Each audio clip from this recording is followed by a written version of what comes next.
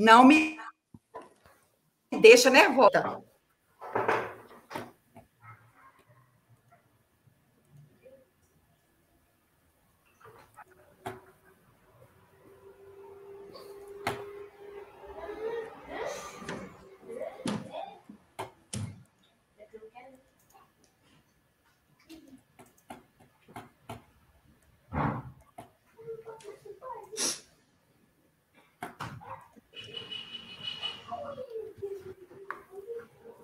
Você acredita que a Heloísa pintou isso para mim, Diego? O quê? Você acredita que a Heloísa pintou isso para mim? A apresentação? Excepcional, ué. Sabia não. É. O que, que um divórcio não faz com o ser humano, hein? 18 ah, anos depois... Eu soubesse que ela ia fazer uma pintura bonita assim para mim, eu tinha divorciado antes. Muito bonita figura.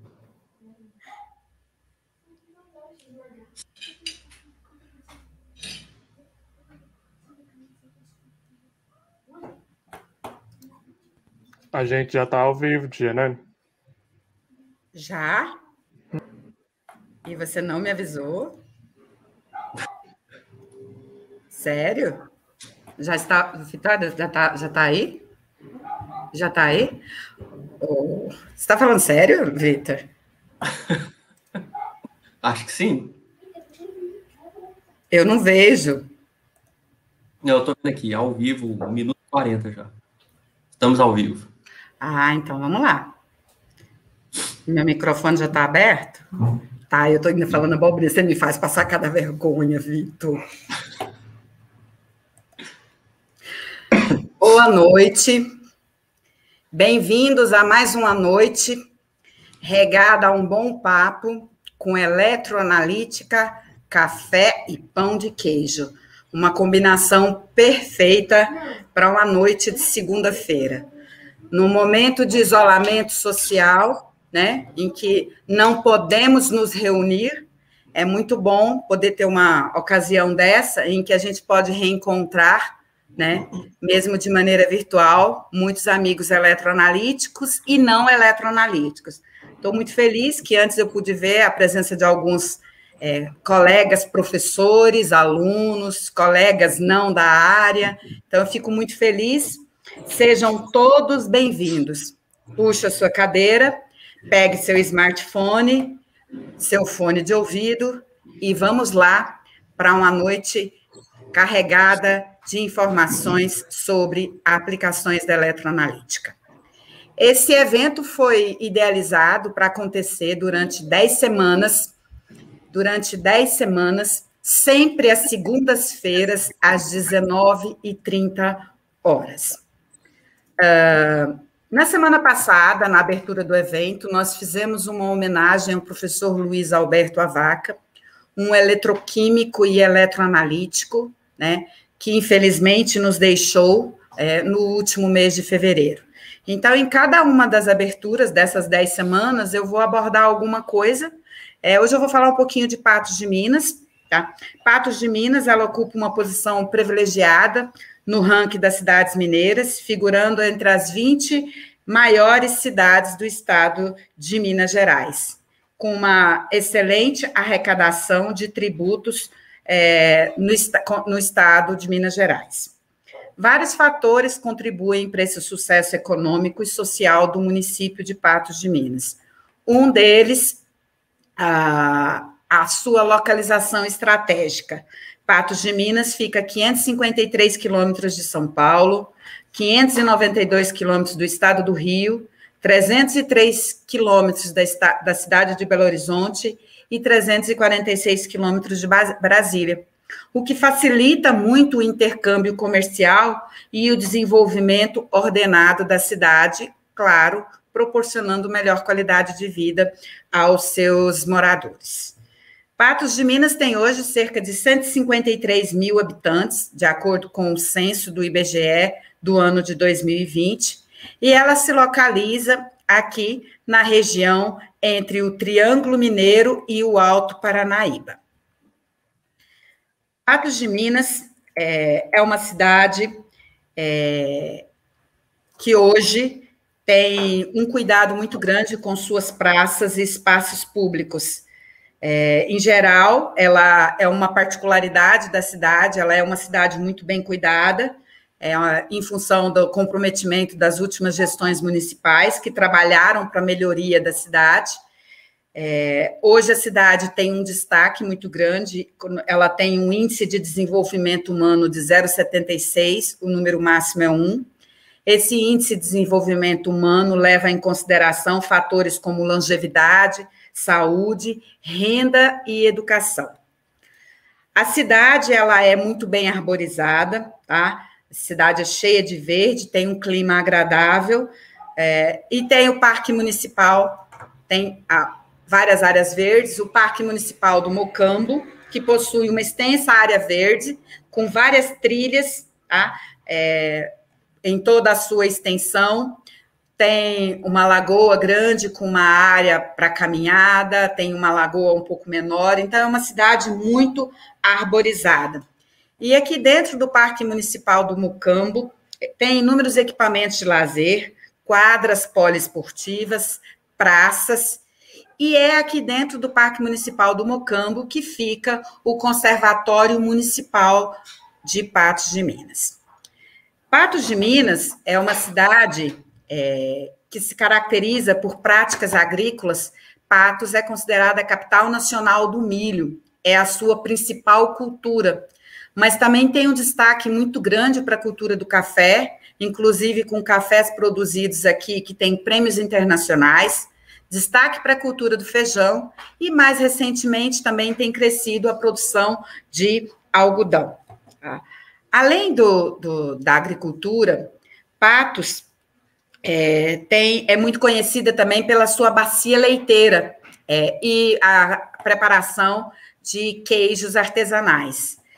A suinocultura em Patos também tem uma cultura já bem antiga, então em Patos tem várias empresas que trabalham desde o melhoramento genético, cria, recria, engorda e abate de suínos. É, em função da sua é, avanço é, na, nas atividades agrícolas, a cidade também tem ah, algumas empresas que são ligadas a essa parte agrícola e agropecuária, com grandes empresas de sementes, de fertilizantes e também de rações, inclusive com é, produção para exportação. É, em função dessas atividades agrícolas, aqui na cidade a gente tem a escola agrícola, a gente tem, temos a Escola Agrícolas, temos a, a sede da EPAMIG, que é a empresa de pesquisa é, agropecuária do Estado de Minas Gerais, e uma sede da Emater, que é a empresa de assistência técnica de extensão rural do Estado de Minas Gerais. Em Patos de Minas também tem uma sede do Instituto Estadual de Floresta, que tem dentro do Instituto o Centro de Triagem de Animais Silvestres, estrategicamente colocado em Patos de Minas, em função da sua localização geográfica. É, Patos de Minas é conhecida como a capital nacional do milho e um dos eventos que fez a cidade se despontar nacionalmente é a Feira Nacional do Milho, que acontece todos os anos no mês de maio. Geralmente, isso antes da pandemia. Geralmente são dez dias de festa, onde a gente tem um festival de pratos típicos, tem a escolha da Rainha Nacional do Milho e muitos shows. Shows variados em todas as noites. Então, é um evento que movimenta toda a economia do município e de toda a região em torno do município de Patos de Minas. Patos de Minas tem um evento muito importante, que é o Balaio de Arte e Cultura. O Balaio de Arte e Cultura, que já tem uma década, ele é um evento que prioriza a democratização da cultura, a valorização de artistas locais e também artistas vindos de outras cidades, de outros estados além de estimular a arte de maneira geral. É um evento que envolve teatro, dança, poesia, música, nos mais variados estilos. Uma cidade tão cultural como Patos de Minas também tem um festival chamado Festival Marreco, que é um festival de música independente, que traz músicos de todo o país para a cidade de Patos de Minas.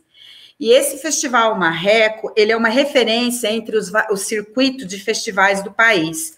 É, ele faz parte da Rede Brasil de Festivais Independentes e do Circuito Mineiro de Festivais. Numa cidade com uma vida cultural assim, não poderíamos ter deixar de destacar alguns nomes importantes da música local, tá? Então, nomes como Hebreu, Bertone, a linda Lisandra, que foi nossa aluna no curso de Engenharia de Eletrônica e Telecomunicações, Pie, a banda Fogo Vivo, são alguns nomes que se destacam porque em quaisquer das suas apresentações eles animam e trazem música de boa qualidade a todo o público. A música de Patos de Minas, ela também é muito é, influenciada em função também da cidade ter um conservatório municipal. E a cidade também conta com a presença de uma orquestra filarmônica, a Orquestra Filarmônica de Patos de Minas, que é mantida com recursos da Lei Rouanet.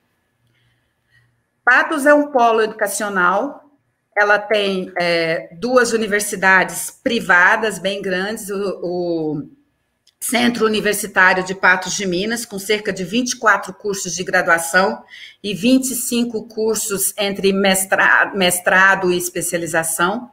Tem também a Faculdade Patos de Minas, que também é uma faculdade privada, com cerca de 25 cursos de graduação e alguns cursos de especialização, e com destaque também para cursos técnicos desenvolvidos no Senai e no SENAC. Como polo educacional, Patos recebeu de braços abertos, né, em 2011, me desculpe, né, pessoal, eu tenho que falar, né, braços abertos, em 2011, um campus da Universidade Federal de Uberlândia. Esse campus veio para Patos de Minas através do Plano de Expansão Universitária do Governo Federal, projeto de 2008 a 2012.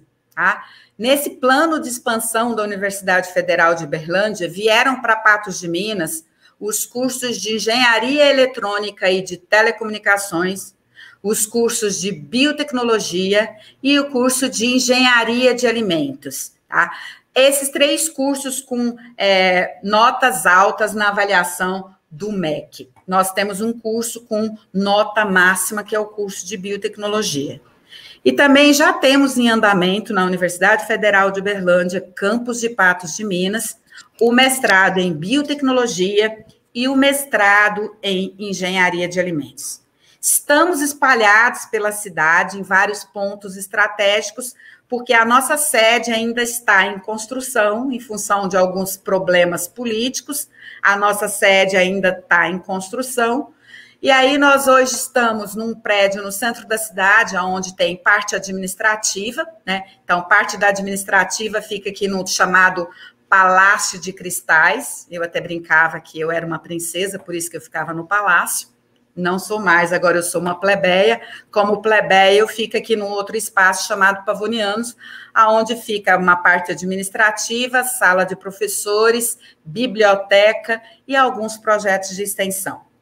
Mas o nosso maior xodó aqui em Patos é esse prédio, tá? um prédio de seis andares, aonde estão alocados vários laboratórios de ensino e de pesquisa, aonde temos desenvolvido é, algumas pesquisas muito interessantes, inclusive hoje temos um laboratório específico para diagnóstico de Covid. É, como eu falei inicialmente, esse evento ele é dedicado ao professor Luiz Alberto Avaca, tá? nosso querido Avaca, é, eletroquímico de formação, um dos nomes mais conhecidos na eletroanalítica brasileira, responsável por trazer para o Brasil o uso dos eletrodos de diamante dopado com boro, responsável pela formação de inúmeros mestres e doutores que estão espalhados por esse Brasil. É, por isso, esse evento é dedicado ao professor Avaca. Antes de passar a palavra para o professor Ronaldo, eu não posso deixar de agradecer a todos os pesquisadores eletroanalíticos brasileiros que aceitaram participar desse projeto no isolamento social, café, pão de queijo e eletroanalítica. Cada um desses pesquisadores estão dedicando algumas horas do seu dia, do seu período, para preparar esse, para nos ajudar a preparar esse evento. Um agradecimento muito especial ao professor Orlando Fatibelo Filho, que abriu a nossa série de eventos na semana passada, com uma palestra que foi encantadora.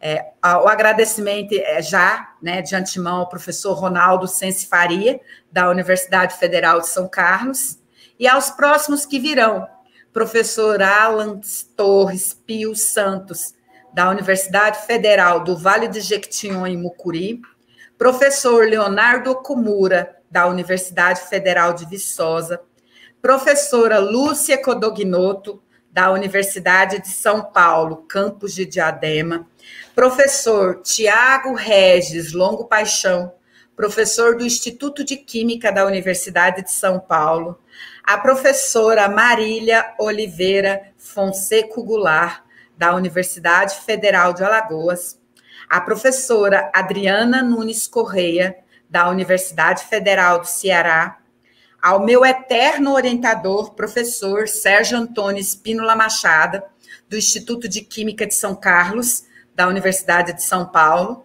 e a nossa queridíssima professora Rideco Yamanaka, do Instituto de Química da Unesp, campus de Araraquara. Também não posso deixar de agradecer à minha equipe, meus alunos que me ajudam e que fazem isto tudo acontecer, que é o Vitor e a Lohane, a Talita e a Júlia. Peço para que vocês é, participem desse evento e também acessem as nossas redes sociais, né? Nos ajudem na divulgação desse trabalho, nos ajudem na divulgação da eletroanalítica e todas as suas funcionalidades e possibilidades. Então, estamos no YouTube, estamos no Instagram e estamos no Facebook.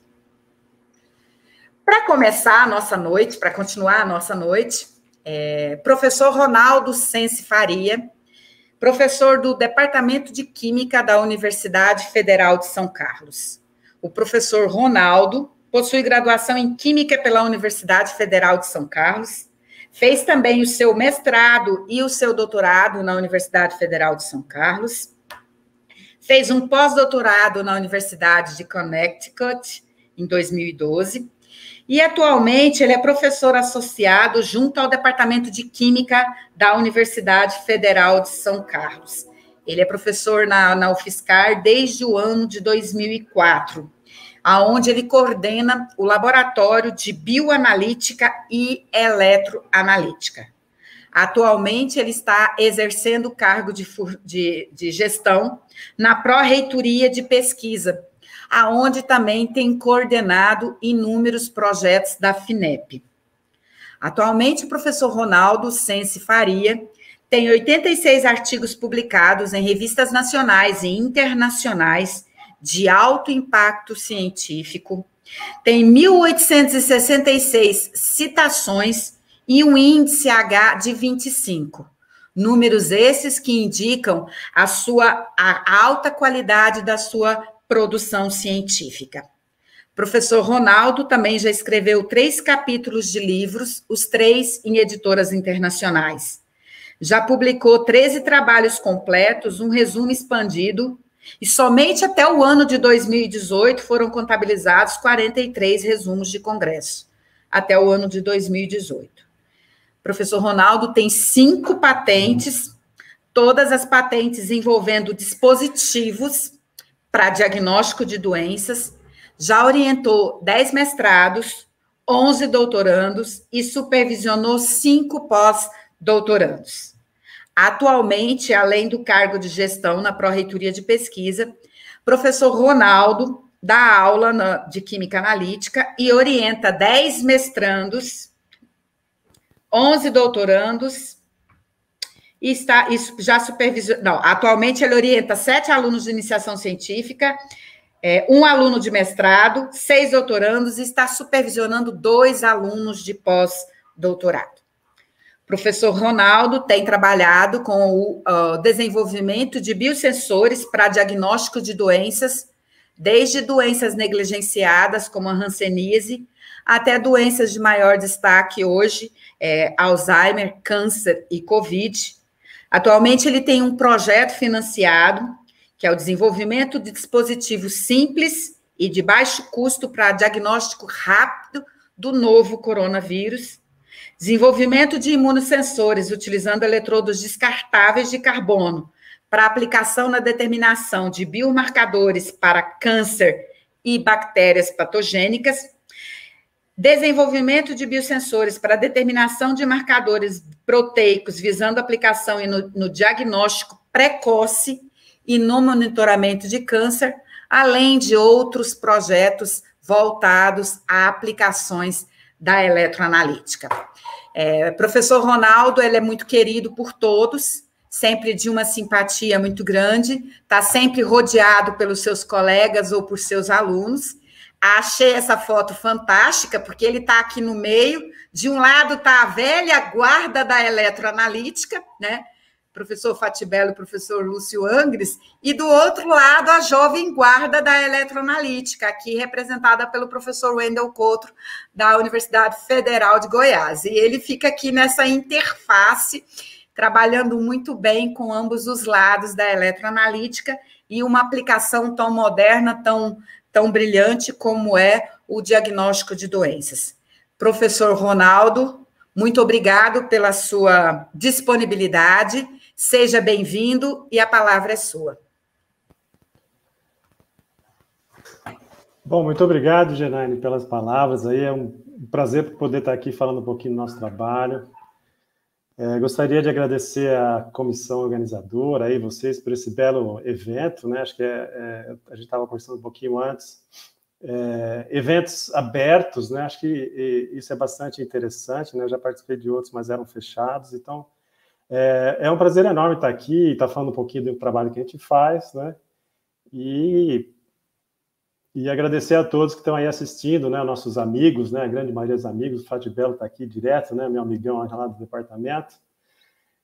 E, bom, eu acho que é, a ideia, então, hoje é estar falando um pouquinho de uh, eletroanalítica e diagnóstico de doenças, né? Então, na verdade, esse título é bem genérico, né? E então a ideia é estar falando um pouquinho mais especificamente de, de, de dispositivos para detecção de biomarcadores, né, no caso é, macromoléculas, né, a grande maioria proteínas, e também de material genético, visando então é, desenvolver algum dispositivo simples, rápido, né, voltado para o diagnóstico de doenças. Né? Eu, eu costumo brincar que a gente sempre é, a gente está sempre procurando material que seja mais simples, né? Às vezes você, né, tem um, novo nanomaterial, um fantástico, excelente, mas às vezes para uma parte prática, que é o que a gente vem desenvolvendo hoje, né? a gente trabalha muito com o pessoal da área da saúde, e eles cobram muito de nós um resultado, algo que possa aí né, ajudar eles no laboratório, eles utilizarem aquilo, né? Então a gente às vezes busca é, o que for mais simples, né, e que a gente consiga uma detecção o melhor possível, né? Bom, é...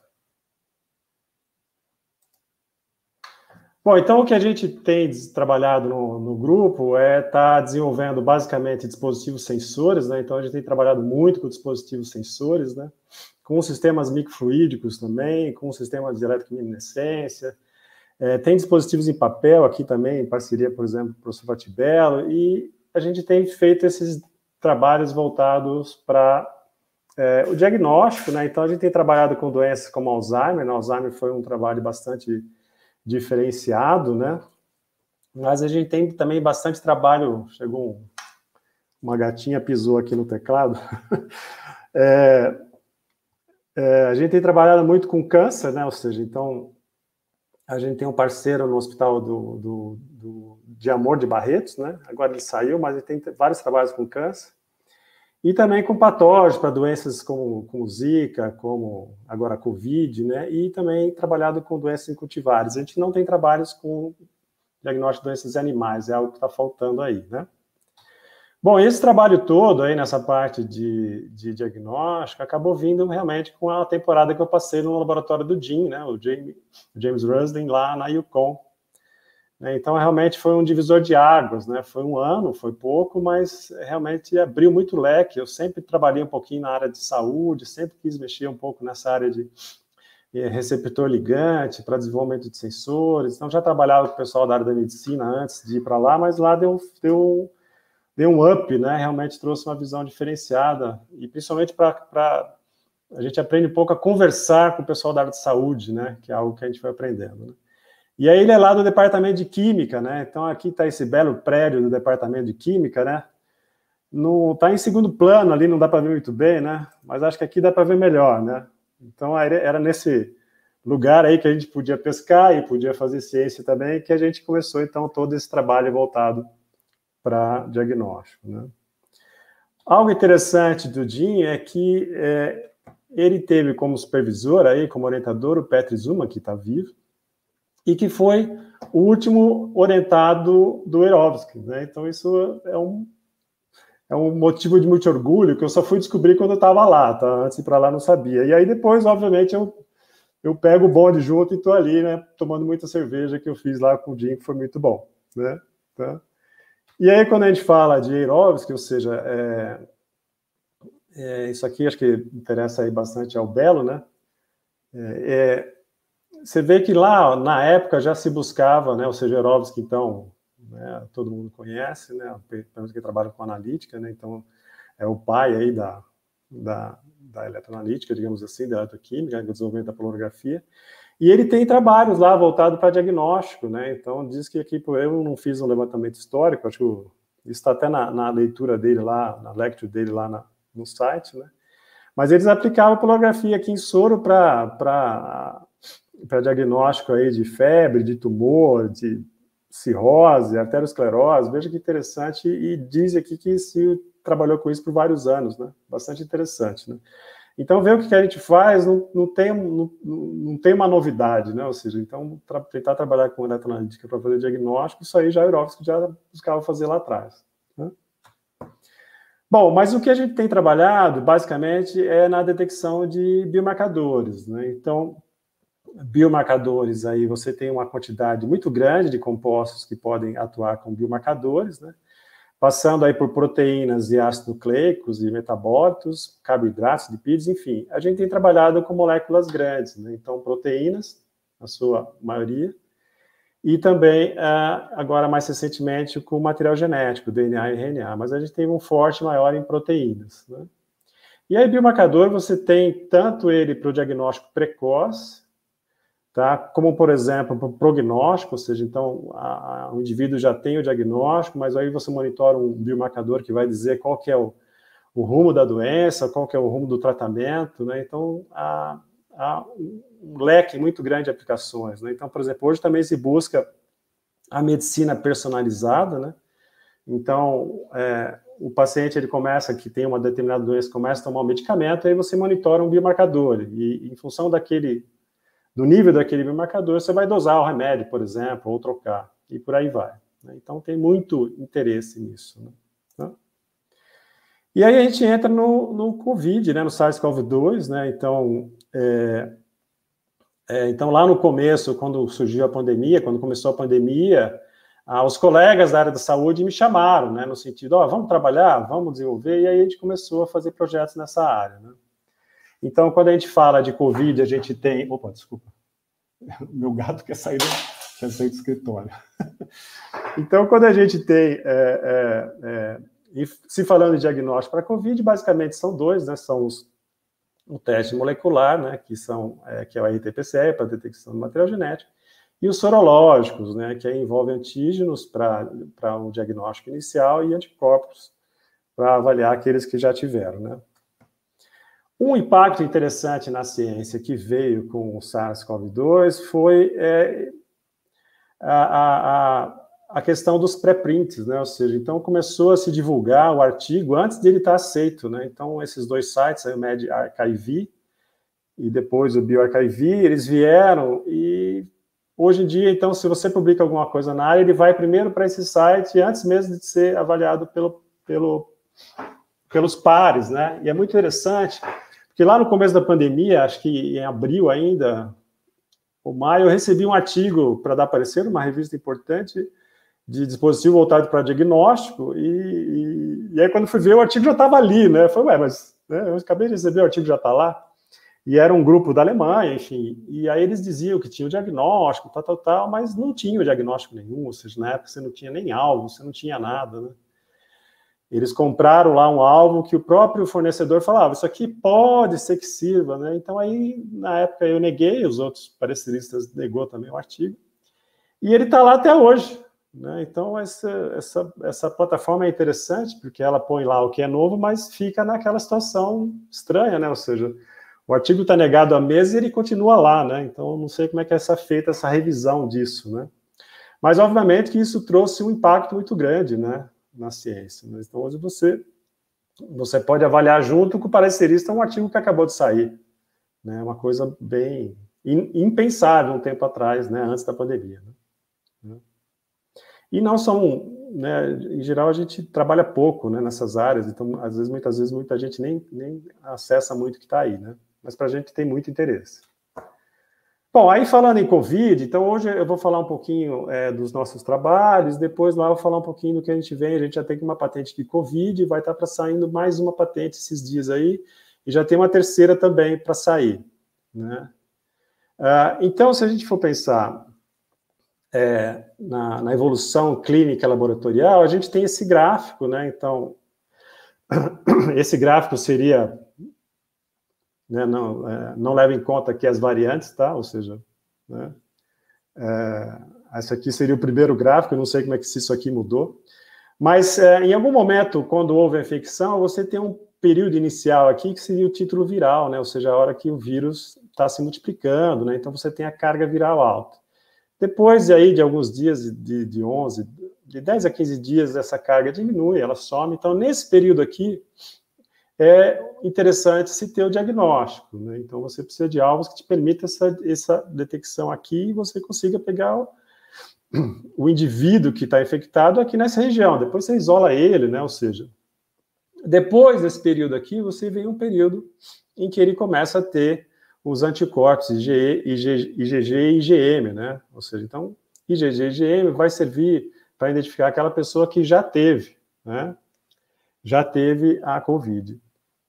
É, antígeno né, e material genético vai te permitir detectar aqui ah, o início da doença. Né? Então, sempre é, antes do início dos sintomas ou para os assintomáticos, você simplesmente tem a pessoa circulando e você não sabe de nada. Né?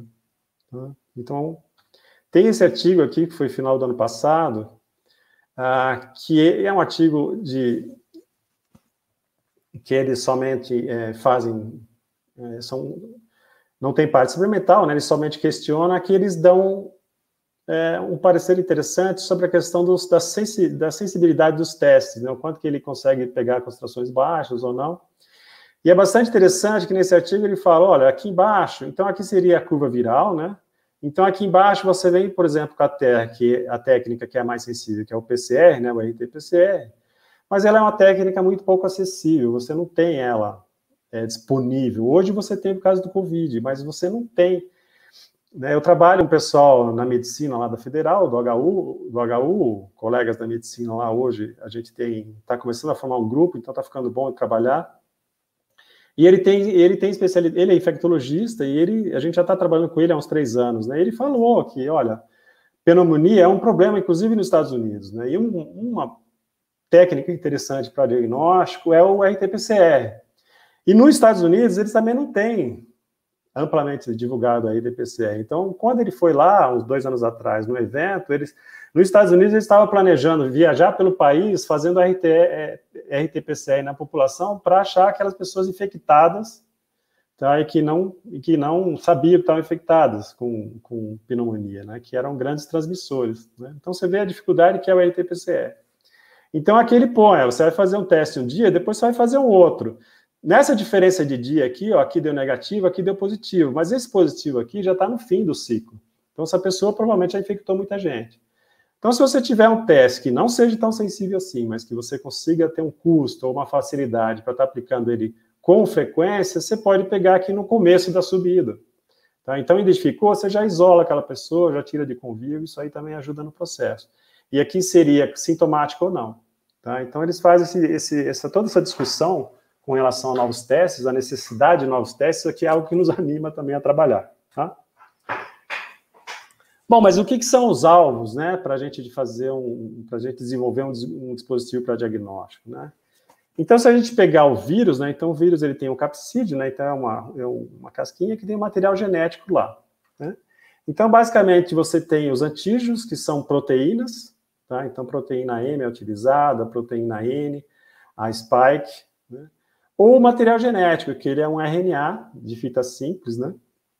é, positivo. Então, isso são geralmente os alvos para o diagnóstico de COVID, tá? A gente trabalha com spike, nesse caso aqui, também com material genético, né? Ah, só que esse vírus, aqui eu não vou entrar em detalhes, né? eu sou químico, né? ou seja, eu trabalho com o área da saúde para não ter que me preocupar muito com isso, e essa que é o interessante da área. Então, eles, eles têm toda a expertise necessária que eu não tenho, obviamente. Tá?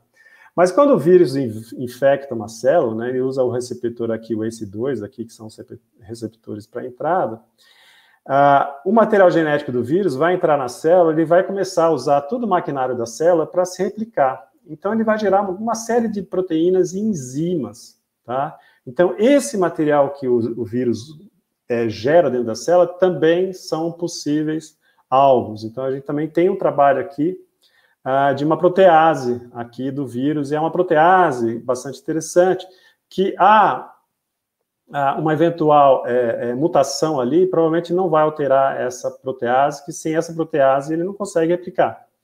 Né? Então, talvez também é um alvo bastante interessante. Então, o vírus, você tem uma certa dificuldade para clivar ele e acessar o material genético. Né? Então, uma célula humana, você consegue clivar isso mais fácil. É interessante de você poder é, usar alvos que estejam ali na célula humana, Tá? Então, isso também é interessante. Né? A, a, a, spike, que é uma proteína externa, ela também, muitas vezes, você pode fazer um, um dispositivo para diagnóstico sem necessitar clivar, né? sem necessitar fazer a lise do vírus. Tá? Bom, e o que, que tem de diagnóstico hoje? Basicamente, para COVID, é o RT-PCR, vamos falar um pouquinho dele, e aí usa como amostra ou saliva ou suave naso ou orofaríngeo. Né? Então, aquela aquele can, cânula que vai no nariz, né? Ou saliva, né? Aqui só, é, a grosso modo, assim, não vou entrar muito em detalhes, mas o, o RT-PCR, o que, que ele, que, como é que ele é feito? Então, você tem que é, isolar o RNA do seu material, fazer a lise, isolar esse material, fazer a transcrição dele de RNA para DNA, tá? E depois replicar esse DNA até com ciclos térmicos, né? Usando enzimas que é ataque polimerase. Né? Então, você vai usar ciclos de aquecimento e resfriamento, e essas cadeias vão se replicar, se replicar, se replicar, até uma hora que se consegue fazer a detecção.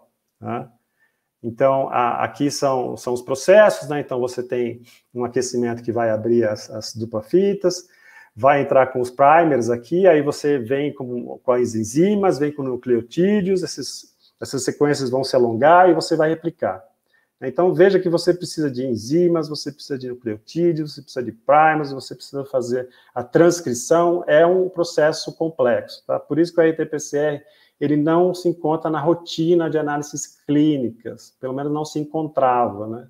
A gente não sabe se isso vai mudar, muito provavelmente não, tá? Só como exemplo, em São Carlos, nós temos dois é, lugares que fazem basicamente o teste, um deles é na Federal, Tá? Então, tem empresa da cidade que divulga, que faz, mas é, ela coleta e o processo é feito dentro da universidade. Tá? Eles não têm o RT-PCR lá. Aqui são os ciclos, né? Então, aqui vai, vai vir de uma sequência, cada ciclo vai dobrar, vai dobrar, ou seja, então, um negativo seria um sinal que não sobe, não há sinal, né? E aí, um positivo seria um sinal após tantos ciclos. Para vocês terem uma ideia, o RT-PCR aqui na universidade, quando é feito na federal, ele não é quantitativo, ele é qualitativo, tá? Eles não conseguiram implementar, tá? O RT-PCR quantitativo é extremamente complexo. Né? Então, aqui seria um exemplo de curvas, né? Ou seja, quanto mais cedo sobe, né? Quanto mais cedo, quanto menos ciclos necessita para subir, seria maior carga viral, né? Então, quanto mais tempo demora, menor a carga viral. Né? Uh, o outro teste é o ELISA, que é para antígeno anticorpo, esse é um, esse é um padrão ouro para proteína, né? Então, isso é conhecidíssimo, né? Então, são essas placas de 96 postos. Trabalhamos com elas também, desenvolvemos um, um método para diagnóstico utilizando a placa, mas não para detecção de proteína, para detecção de material genético, a patente vai estar saindo esses dias.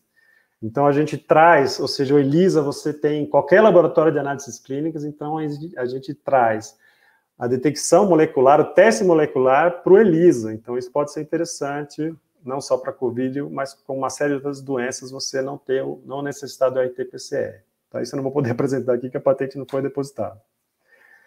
Basicamente, como a ELISA funciona, né? ou seja, em cada poço desse aqui, cada poço desse aqui da placa de ELISA, né? Então, é ancorado um anticorpo, né? Então, depois adiciona-se a amostra, que vai ter um antígeno. Então, supondo que aqui o analito é um antígeno, né? Ah, é feita, então, a adição, lava-se, imagina lavar essa placa, é bastante complexo, né? Então, lava-se, depois adiciona-se um, um, anticorpo aqui, ou obtinilado, ou já marcado, né? Então, forma uma estrutura tipo sanduíche. Há diver, diversos outros tipos de, de teste de ELISA, né? Os direto, indireto, competitivo. O sanduíche é um dos mais utilizados, e é o que a gente utiliza também nos eletrodos, tá? Então, aqui você tem uma estrutura tipo sanduíche, né? Então, você tem anticorpo, proteína, o antígeno e o segundo anticorpo. Né? E aí aqui você tem uma enzima, HIP, por exemplo, você vai é, adicionar os reagentes e vai ter uma mudança de cor, e aí você quantifica pela intensidade da absorvida aí, né? Tá? Então, esse é basicamente o ELISA, né? Tá? Bom, hoje também tem os testes rápidos, né, para COVID. Então, aí envolve antígeno anticorpo, então você tem teste rápido tanto para IgG é, para IgA, né, que aí realmente permite um teste, um diagnóstico inicial, e também IgG IgM, que seria o pós, né. Ah, e aí você tem é, é, no mercado hoje bastante opção, aumentou, né, antes não tinha, né, que isso começa a aumentar. É, é igual um teste de gravidez, né, então é o lateral flow ou imunocromatográfico, né, eu gosto bastante dessa técnica, particularmente é, ela é bastante estabelecida, né, em termos é, é, industrial, né? Então, eu lembro que logo no começo eu conheço o pessoal que trabalha na área, eu conheço três empresas que desenvolvem esse tipo de dispositivo, já lá para abril, maio, eles já tinham um lá construído, desenvolvido e construído. Em uma semana ele consegue desenvolver quem trabalha com isso no dia a dia de empresas, né? Então é bastante interessante. Né? É, aqui é como se aplica, né? Então a aplicação é fácil, né? Você vai colocar uma gota de sangue ou soro, pode ser urina, depende do teste, né? Para Covid, geralmente é sangue, né? Ou saliva, também dá, né? E aí você vai colocar o tampão e isso aí vai correr, né? Ou seja, você põe a solução aqui, ele vai correr. Geralmente são duas ou três linhas, sempre tem uma linha controle. Então, o que tem aqui, nesse conjugado, são nanopartículas de ouro, né? São nanopartículas de ouro. Tá aqui, ó, vermelhinho, nanopartículas de ouro. Isso aqui vai correr na tira, né? Então, se não der essa linha controle, você joga fora e pega outra, né? E aí, as demais linhas dependem do teste. Se elas aparecerem é positivo, se elas sumirem é negativo, depende do tipo de teste, né?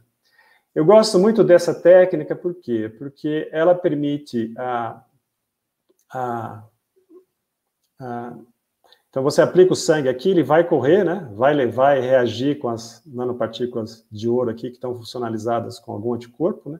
Então, isso vai correr, então você vai fazer uma separação dessas espécies, né? Então, aqui você tem a linha teste e a linha de controle. Então, a linha teste, se tiver o alvo lá, ele vai ancorar aqui, ó.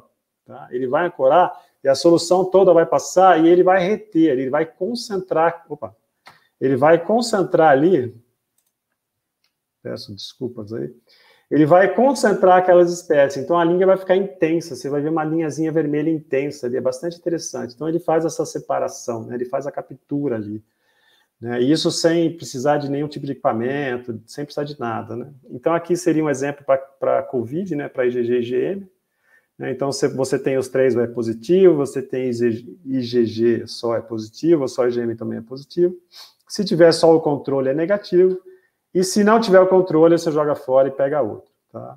A grosso modo é isso aqui, né? Então, é, eu sou bastante fã dessa técnica, mas ela está muito bem estabelecida comercialmente. Né? Realmente, em termos de pesquisa, é, é, é, tem bastante coisa, mas o pessoal que trabalha com isso consegue desenvolver testes em uma semana, duas. Né? Bom, e aí, quando a gente fala em dispositivo para diagnóstico, né, então você tem coisas como essa daí, esses equipamentos da Roche, né, por exemplo. Então você tem aqui, ó, um, tem lugar que uh, ocupa um andar inteiro, né? Então chega a amostra, chega a amostra de urina, chega a amostra de, de sangue, já lacradinha ali com código barra, a máquina abre a tampinha, coleta a amostra, prepara, faz tudo e vai para o detector, ou seja, você só fica abastecendo ali de insumos e jogando fora o descarte. Mas isso é uma realidade que está muito longe do nosso dia a dia, né? Muito longe. Né? Então, pouquíssimos lugares têm equipamentos como esse.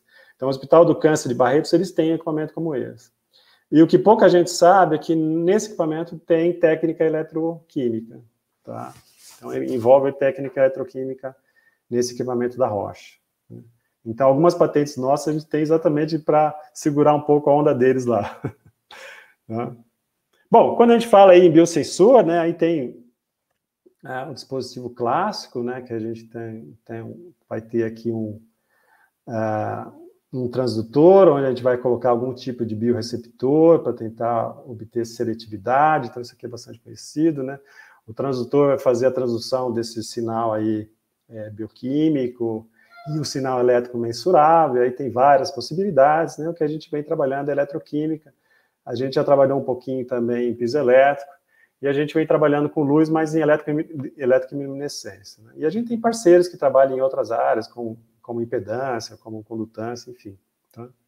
E aí, basicamente, se você tem anticorpos com bioreceptor, você tem um imunossensor, né? Tá? Aí tem uma série de vantagens que são bastante conhecidas, né?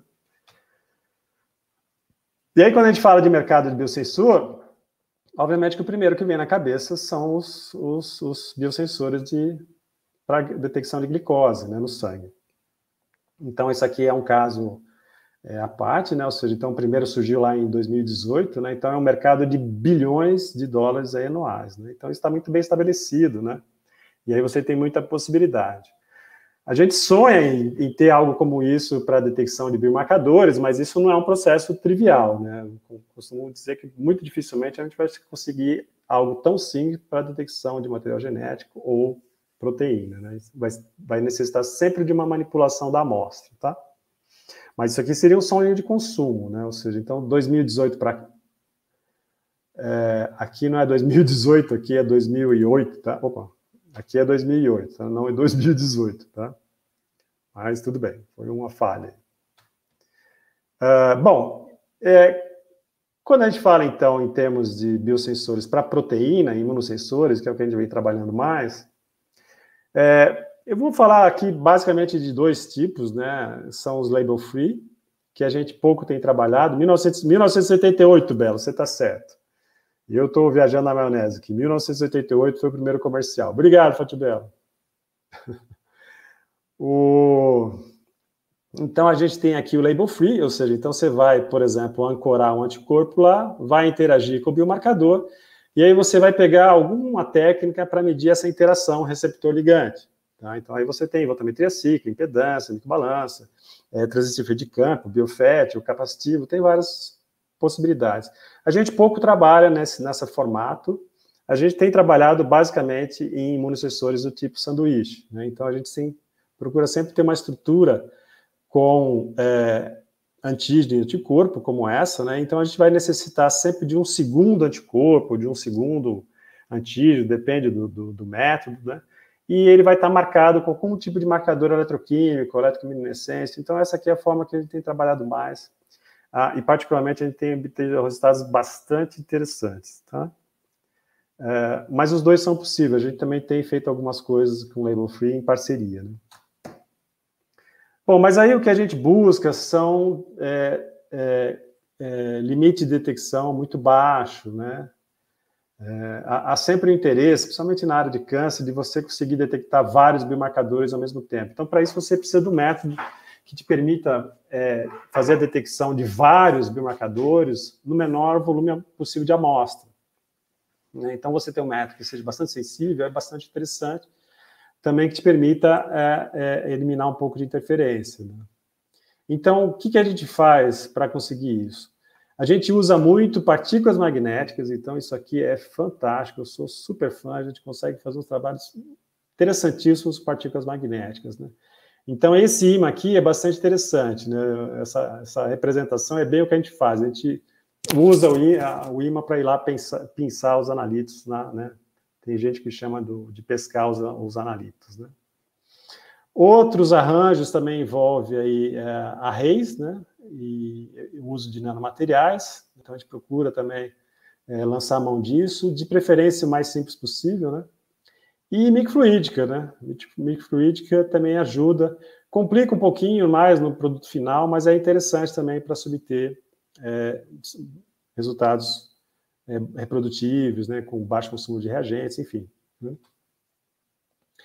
E a gente tem lançado mão muito de eletrodos descartáveis, né? Então a gente tem, ah, a gente hoje nossos alunos todos trabalham somente com eletrodos descartáveis, a gente praticamente não trabalha mais com eletrodos é, de taruga, todos, então os alunos todos fazem seus seus eletrodos, todos fazem suas partículas magnéticas, todos fazem todas as etapas para o dispositivo final, né? Tá? Então aqui são vários arranjos, então aqui são células simples, arranjos de células simples, arranjos de eletrodos, a gente tem trabalhado em várias frentes. A gente tem uma patente, então, foi uma das primeiras, que é uma patente para um dispositivo microfluídico descartável. Então, aqui você desenvolve o, dispositivo com oito sensores, faz análise, joga o dispositivo inteiro fora, bastante interessante. Né? Isso aqui é tudo material de baixo custo, tudo que muita gente já vinha trabalhando, com folha de, de, de, de transparência. Isso aqui é, a gente sempre vai aprendendo com nossos tutores, né? E vai incorporando alguma coisa a mais, né? Então, a gente tem uma segunda patente, agora aqui é para um eletrodo, é para um dispositivo para eletroluminescência também descartável. Então, o, aqui o que é interessante, a gente tem um eletrodo de trabalho só, e nesse caso aqui eu tenho 10 áreas sensoras diferentes. Eu posso colocar, fazer a detecção de, de, de 10 alvos diferentes aqui num único dispositivo. Eu posso aumentar isso para 100, né? Se eu conseguir fazer em tamanhos menores, usando um eletrodo só. Né? Então, a eletrominescência tem essa vantagem. Né? Então, cada spot ali vai ser, mesmo que a luz, o processo de luz ele seja o mesmo, desde que, eu tenha funcionalizado ali para detectar um biomarcador diferente, eu consigo pegar quantos eu quiser. Tá? Então, isso aqui também é bastante interessante e a gente vem trabalhando nisso também. Tá? Bom, é, uma das principais estratégias que a gente usa para obter limite de detecção muito baixo é usar a partícula magnética. Então, são as, os óxidos de ferro, ferrita, magnetita, enfim. Uh, em geral, a gente vai funcionalizar essa partícula magnética ou com anticorpo, ou com antígeno, ou com, com DNA, ou com RNA. RNA não, DNA. Tá? E o interessante é que geralmente a gente trabalha com partículas um pouco grandes. Então, a gente consegue aí, muitas vezes, ancorar centenas aí, dezenas, centenas de milhares de, de, de, de antígeno, anticorpo por partícula. Né? Isso é bastante interessante. Então, isso aí vai te dar um, um ganho né, na hora de fazer a detecção do analito. Né? Então, aqui é um exemplo do que a gente faz. Né? Então, isso aqui a gente faz. Isso aqui é um processo, não é complexo, aqui é fácil de fazer essa funcionalização da partícula magnética. Né? Então, você vai formar esse bioconjugado, você vai adicionar ele na sua amostra. Né? Então, o biomarcador está em vermelho você incuba lá, né, vai, vai ocorrer a reação antígeno-anticorpo, o receptor ligante, é, aplica um imã do lado de fora do tubo, aqui embaixo tem a imagem, não dá para ver muito bem. Você aplica um imã ali, né, então aí as partículas vão ficar retidas na parede do frasco, aí você tira a solução. Então, todo aquele interferente que você tem na amostra de soro, de saliva, de urina, você descarta tudo nessa etapa. Né? E aí você adiciona tampão, lava suas partículas, no final você ainda pode vir aqui e diluir no volume bem menor. Então você faz uma pré-concentração. Tá? Então você faz a captura, a separação do seu analito e depois a pré-concentração. Tá? Então tudo isso usando partícula magnética e um, e um microtubo em Pendorf. Tá? Isso é fantástico. Né? Isso ajuda muito, que era algo, por exemplo, que eu sentia muita falta quando eu trabalhava é, em eletroanalítica, que é fazer a separação, né? A gente sempre procura um, desenvolver um eletrodo para conseguir seletividade. Aqui eu não me preocupo mais tanto com a seletividade, que eu elimino todo interferente, né? Então eu faço a separação. E aí a gente tem trabalhado de du, em estruturas tipo sanduíche de duas, duas formas diferentes. Tá? Então a gente trabalha com a estrutura tipo sanduíche ou no eletrodo ou na partícula magnética. Tá? Como é que a gente faz isso? Tá? Então, aqui no eletrodo, ó, eu vou funcionalizar aquele minha partícula magnética com um anticorpo. Tá? Aqui, no caso, já representei a captura do antígeno. Tá? Só que junto com o anticorpo, eu vou ancorar lá também o meu marcador eletroquímico. Tá? Eu, já, eu já ancoro lá o marcador eletroquímico. Na partícula magnética, eu vou usar aqui, então, eu não vou precisar do marcador. Tá? Eu vou ancorar ela só com o anticorpo. Aqui já está representado o é, alvo, o analito capturado. Tá? Já separei ele lá, já fiz aquelas etapas de separação. Então, no primeiro caso, eu vou precisar de um eletrodo que eu tenha previamente tratado ele e ancorado lá um segundo anticorpo. Tá? Então, quando a gente olha aqui, ó, eu tenho uma estrutura tipo sanduíche na superfície do eletrodo. Eu tenho anticorpo no eletrodo, antígeno e o segundo anticorpo presente na partícula magnética. Eu tenho um sanduíche aqui. Tá? Feito isso, eu vou pegar então o sinal analítico daquela material lá que está ancorado junto também e que está em grande quantidade. Tá? Então, vou ter uma amplificação de sinal aí significativa, porque eu vou ter muito ali é, é, marcador redox. Tá? Já na partícula magnética, quando a gente quer fazer uma estrutura sanduíche nela, eu vou adicionar em solução, em solução, um segundo marcador, um segundo anticorpo marcado, tá? E de tal forma que ele vai formar uma estrutura sanduíche na partícula magnética, tá? Então aqui ainda estou em solução, tá? Então nesse caso aqui eu vou adicionar, vou, ter uma última etapa, né, lá na, na, na estante magnética, uma, uma, uma última etapa em que eu vou adicionar esse anticorpo marcado, tá? E vou lavar o excesso de anticorpo marcado vai embora tá? Só vai ficar o que estiver ligado. Nesse caso aqui, o meu eletrodo não precisa de modificação nenhuma, nenhuma, nenhuma, nenhuma. Tá? Eu vou colocar um ímã atrás do eletrodo e vou pegar todas aquelas partículas magnéticas, vou depositar elas, vou fazer com que elas fiquem retidas devido ao campo magnético na superfície do eletrodo, todas. Né? E aí o sinal analítico vai vir do meu marcador aqui. Tá? Então, se tiver o alvo, vai ter marcador, se não tiver, não vai, tá? Aqui é interessante que eu posso, então, trabalhar com o eletrodo mais simples possível, tá? Ou seja, eu brinco que alguns colegas falam, ah, mas muitas vezes se você ciclar o seu eletrodo em meio de ácido fúrico, vai melhorar o teu resultado? Falei, vai. Mas agora imagina se você vai fazer um teste de glicose que você precisa ciclar o eletrodo em ácido fúrico antes de fazer o teste em casa, né? Não dá, né? Então a gente tenta trabalhar com o eletrodo mais bruto possível, né? E ele tem que dar resultado, né? Porque é assim que depois tem que ser na prática, né? Tá?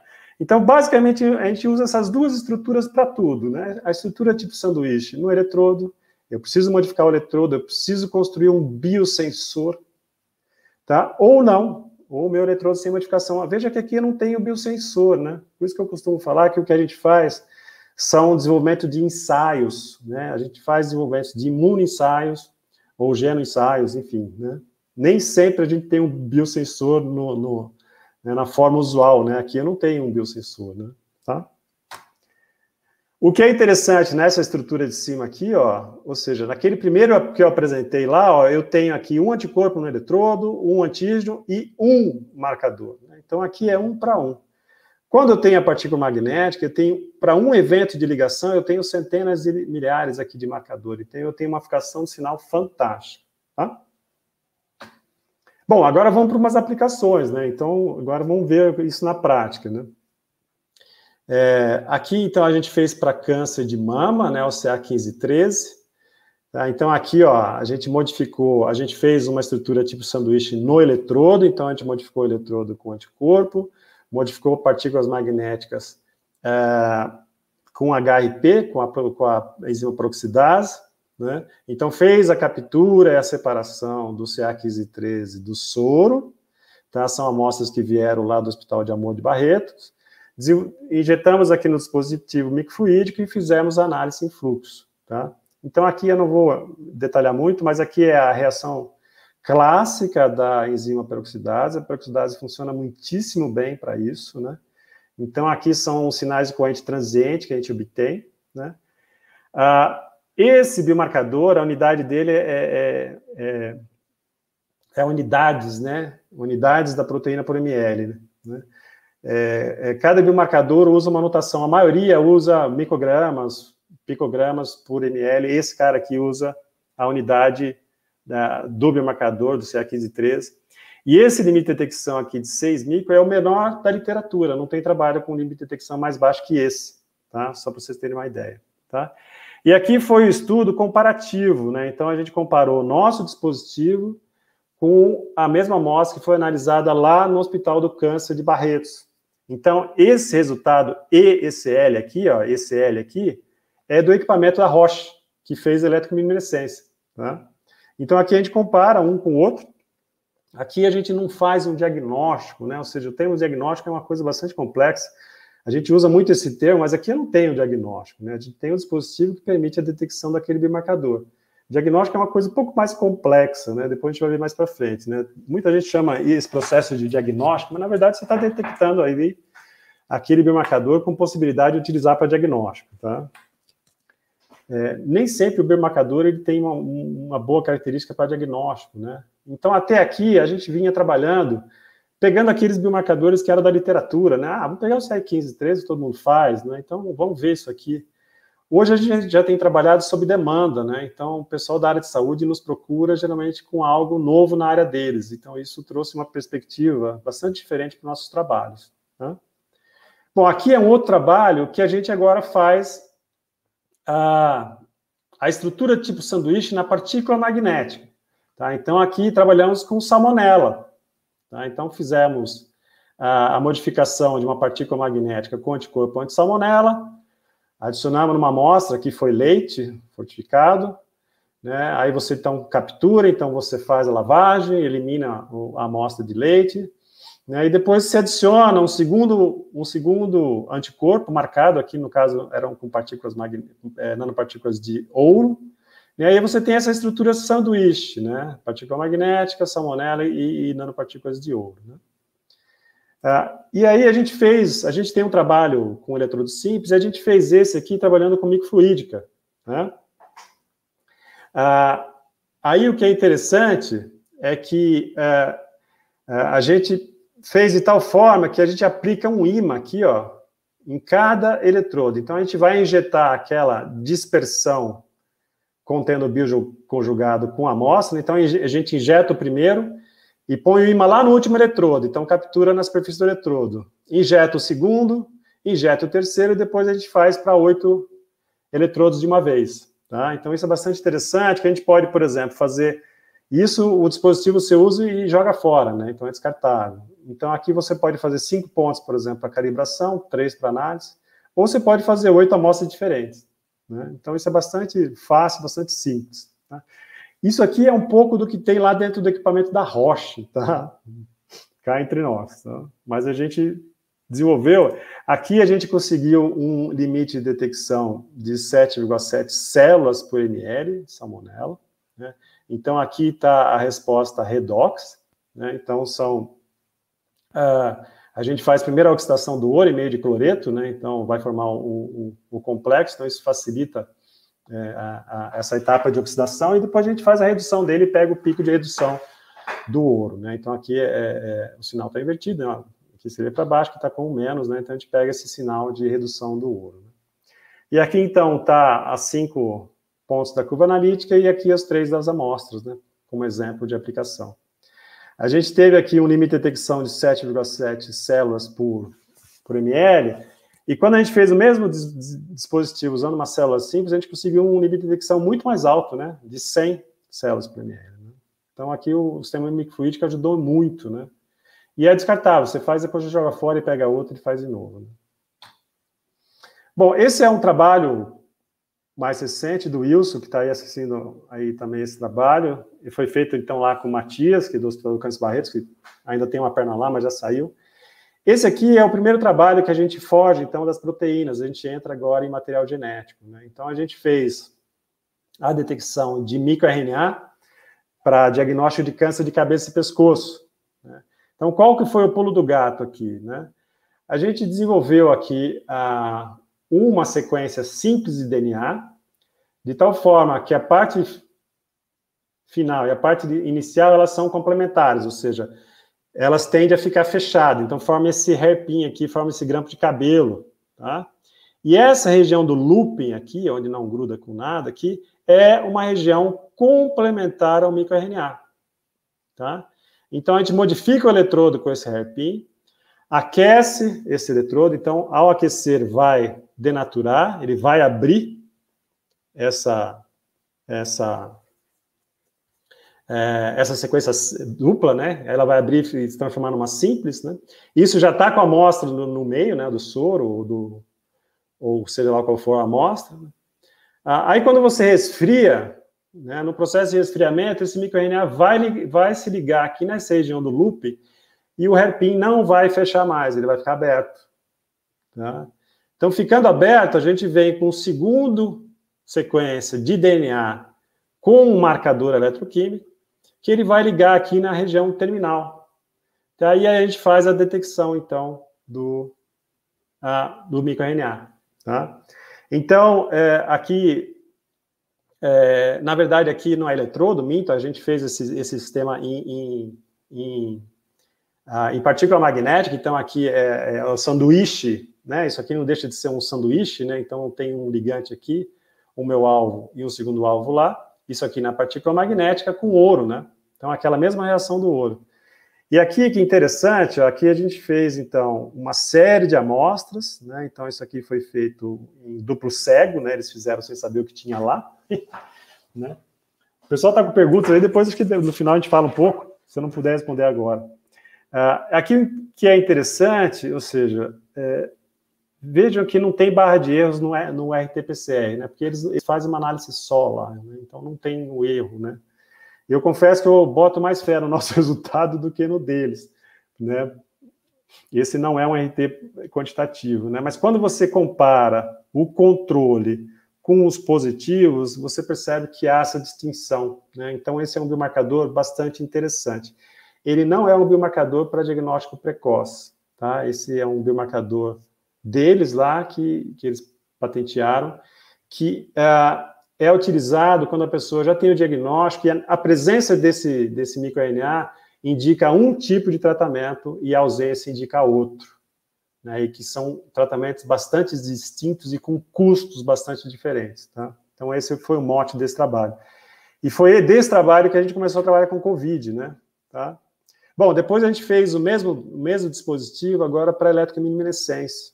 Tá? Então, aqui, ó, esses, todos esses spots aqui, essas pequenas bolinhas, são um eletrodo de trabalho só. Tá? Então, a gente consegue pegar aqui, por exemplo, várias concentrações aqui, ó, pela imagem, né? Ou seja, aqui é um eletrodo só e eu pego o sinal de todo mundo. Então, a eletrominescência é bastante interessante para você conseguir a multiplexação, né? Ou seja, conseguir análise de vários biomarcadores ao mesmo tempo, tá? E esse dispositivo também é descartável, tá?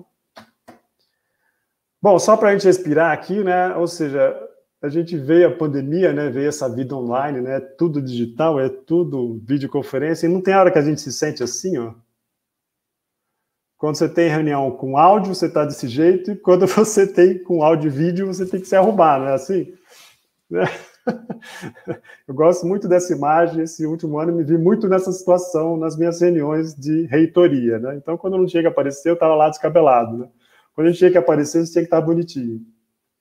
Bom, mas voltando então aqui, só para te dar uma risada, uh, esse trabalho eu gosto de apresentar porque ele foi um divisor de águas né, no nosso grupo. Né? Então, esse é um trabalho que a gente chegou no diagnóstico né, e é bastante interessante.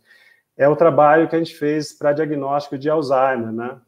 Então, foi junto com a professora Márcia Cominetti, lá da gerontologia, e no café, tomando um café, eu, ela falou que ela tinha ela tinha um biomarcador bastante interessante, ela pensou em patentear, mas não se patenteia biomarcador. Biomarca, biomarcador proteína não é patenteável, tá? por uma série de razões, não, é um pouco extenso para a gente conversar aqui. E aí eu falei, olha, mas eu tenho aqui ferramentas que a gente pode estar tá fazendo dispositivos para diagnóstico, então você não consegue patentear, vamos né, desenvolver dispositivos e patenteamos eles. E daí começou, né? Então, a proteína é a proteína é a DAN10, né? Uma desintegrina. E a gente fez o trabalho mais ou menos em paralelo, né? Porque ela também não tinha feito o trabalho para valer. Então, a gente foi desenvolvendo aqui, ela foi desenvolvendo lá. Né? A gente chegou uns resultados que eram diferentes do que ela esperava, né? Foi bastante interessante. Né? Ah, bom, mas a gente fez os dois métodos. A gente fez o um método para é, com uma estrutura tipo sanduíche na partícula magnética e uma estrutura tipo sanduíche no eletrodo. A gente desenvolveu os dois.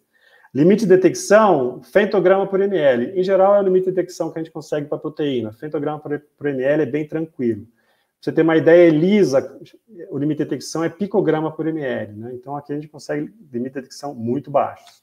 Tá? E essa é a parte interessante. Né? Então, é, nós trabalhamos em cohorts, né? em, em, em grupos de voluntários, então, eram 10 voluntários saudáveis, todos acima de 60 anos, 10 com MIC, que é o transtorno neurocognitivo leve, alguns médicos chamam isso de pré-Alzheimer, outros não, mas seria uma condição que a pessoa está começando a apresentar alguma coisa. E aí, indivíduos diagnosticados com Alzheimer em três estágios. O Alzheimer não tem diagnóstico laboratorial, né? Geralmente o laboratório é clínico, com perguntas e respostas. Você não tem o método hoje para diagnóstico laboratorial. Tá? Até tem um, mas ele envolve é, a coleta do, do líquido cerebroespinal, ou seja, é um processo extremamente invasivo, pouquíssimo utilizado. As análises de imagem também não são, geralmente vão funcionar quando é, o Alzheimer está muito avançado. Tá? Então, você não tem um método hoje para diagnóstico precoce de Alzheimer. Tá? Bom, aí nós desenvolvemos nosso método, ela fez o ELISA lá no grupo dela, depois a gente comparou os resultados, viu que os métodos batiam, e depois aí veio a interpretação dos resultados. Tá? Ah, e o interessante, é, esses são gráficos que a gente não está muito acostumado em ver em, em analítica, eletroanalítica, né? que é a curva ROC, por exemplo. Isso a gente não trabalha com isso, isso mas isso aqui é extremamente importante para diagnóstico. Tá? Vou falar dela daqui a pouquinho. Uh, a gente viu que a, a Adam 10 ela tem um aumento, né, conforme avança. Então, aqui verde são saudáveis, amarelo neurotran, é, transtorno neurocognitivo leve, Alzheimer estágio 1, Alzheimer estágio 2 e Alzheimer estágio 3. Né? Então, a proteína não aumenta. Né? Inicialmente, a professora Márcia ela viu uma diminuição da proteína, né? mas é, depois, depois ela, ela estudando, né, porque ela é da área, Aí ela viu que, na verdade, a gente estava estudando uma fração clivada da proteína. Né? Então, essa é uma proteína que, de membrana, né? Então, quando cliva, era o que a gente estava avaliando, né? E ela tinha estudado inicialmente a que não clivava, que ficava lá, né? Então, essa tinha um comportamento diferente. Né?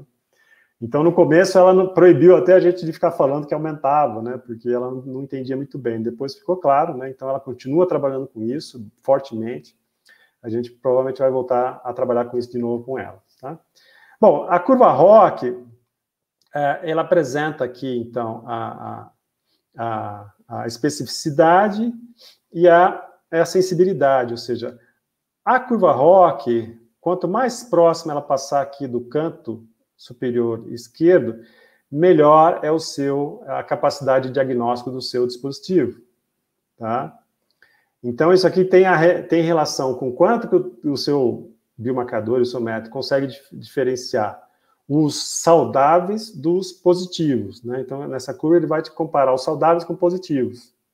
Tá? Então, aqui, ó, nessa curva A, são os saudáveis versus os indivíduos com Alzheimer, vermelho. Então, é verde contra vermelho. Tá? Nessa curva B, é os saudáveis contra a soma dos vermelhos e dos amarelos. Tá? Então, quanto maior a área sobre a curva aqui, melhor a capacidade de diagnóstico do seu dispositivo. Né? Então, a gente tem 89% para o nosso dispositivo, 92% para a ELISA. Isso é um valor excelente, né? um valor muito alto para diagnóstico. Né? Quando soma os dois, né, os amarelos, então a gente aqui inclui o amarelo, inclui o neurotrans... a pessoa com, com é, com o pré-Alzheimer, como alguns médicos chamam, também é possível fazer uma distinção, né? Cai um pouco a área sobre a curva, né? Mas ainda assim é possível separar esses grupos. Claro que essa é uma amostragem pequena, né? Precisa ampliar isso, mas é um resultado fantástico, né? Pensando que você não tem hoje nenhum biomarcador em soro para diagnóstico de Alzheimer, né? Essa é uma outro diagrama também que se usa, que são os diagramas de ponto, né? Então, aqui nesse caso, uh, a gente tem os saudáveis contra o, neurotrans, o transtorno neurocognitivo leve, né? Você percebe que então não há uma separação muito grande, né?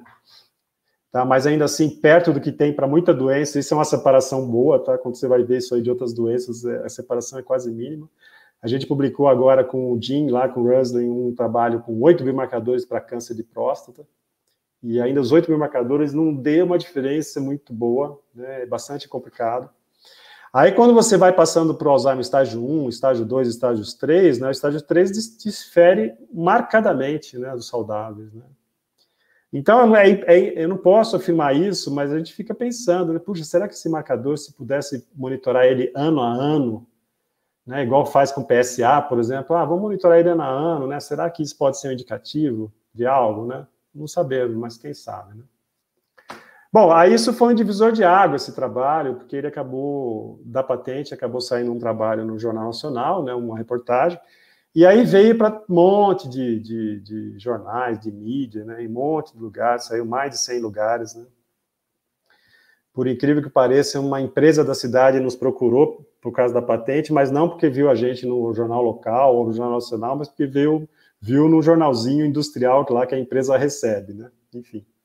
E aí veio umas barbaridades, né, como mal de Alzheimer, né? A gente falou mais que uma vez, saiu na, saiu na Folha, a gente falou, não é mal de Alzheimer, é doença, né? não existe mais esse termo de mal de Alzheimer, mas saiu, não teve jeito. Né? E aí, é, em função disso, acabou vindo diversos outros trabalhos, né? Esse acabou, trabalho acabou sendo publicado, virou capa, é, entrou também o professor Márcio Baltazar, da, da, da Unicamp, né, que trabalha com neurologia, ele forneceu amostras de líquido, né, de, de líquido cerebrospinal, esse trabalho foi tocado pela Tássia, né, que doutorado, que deve estar nos assistindo, e também outros, outros como a Camila, a Patrícia, a Tamires, lá do professor Márcio, teve vários autores aqui, mas o pessoal principal foi esse daqui, né.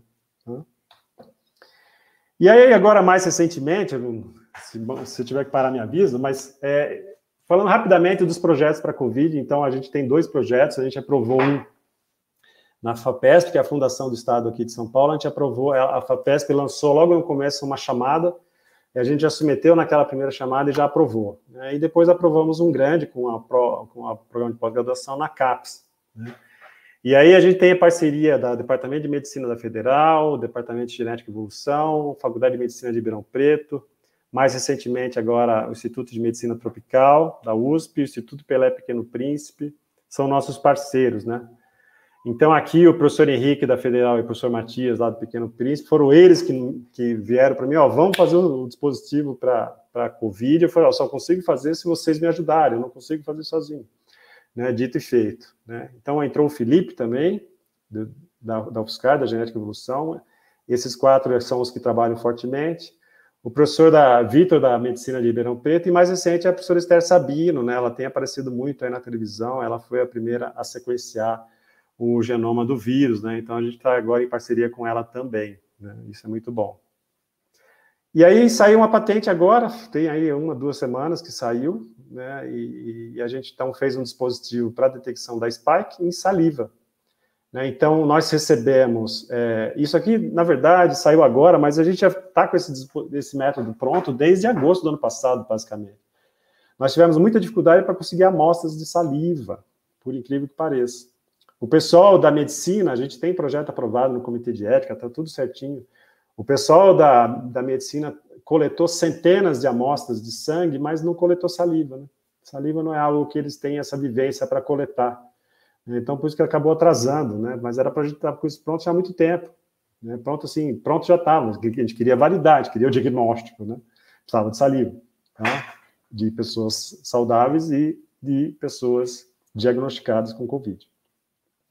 Então, para esse trabalho, nós recebemos um peptídeo desenvolvido pelo pessoal da medicina da, da USP, recebemos também a Spike do pessoal da Fiocruz de, Man, de Manguinhos, através desses parceiros. Com esse peptídeo, o que a gente fez? A gente, a gente fez o básico, a gente modificou, então, nanopartículas de ouro, que a gente encontra para comprar facilmente. Aqui em São Carlos tem quem produza isso e venda.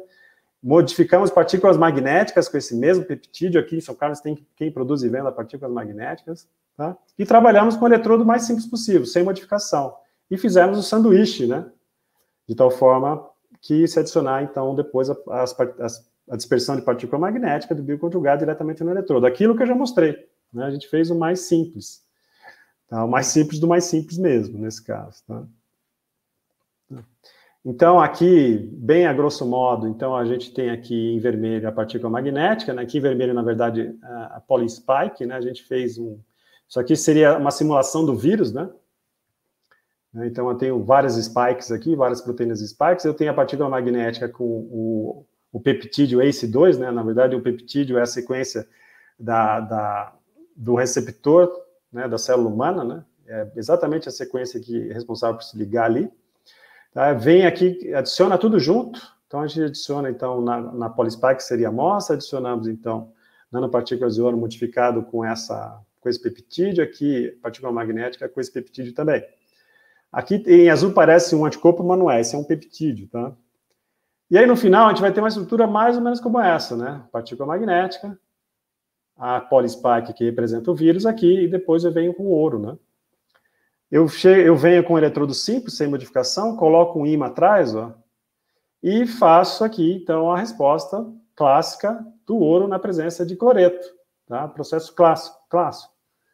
Né? Aqui tem os resultados. Opa, desculpa. Aqui a gente tem o um resultado, a gente tem aqui, trabalha com concentrações de atogramas, ou seja, é, é concentração muito baixa, né? E vai até nem eu sei quanto que é isso aqui, acho que é um milhão. Então aqui a gente tem cinco décadas, tá? Essa é uma escala logarítmica, a gente trabalha, consegue trabalhar com cinco décadas para detecção de material genético.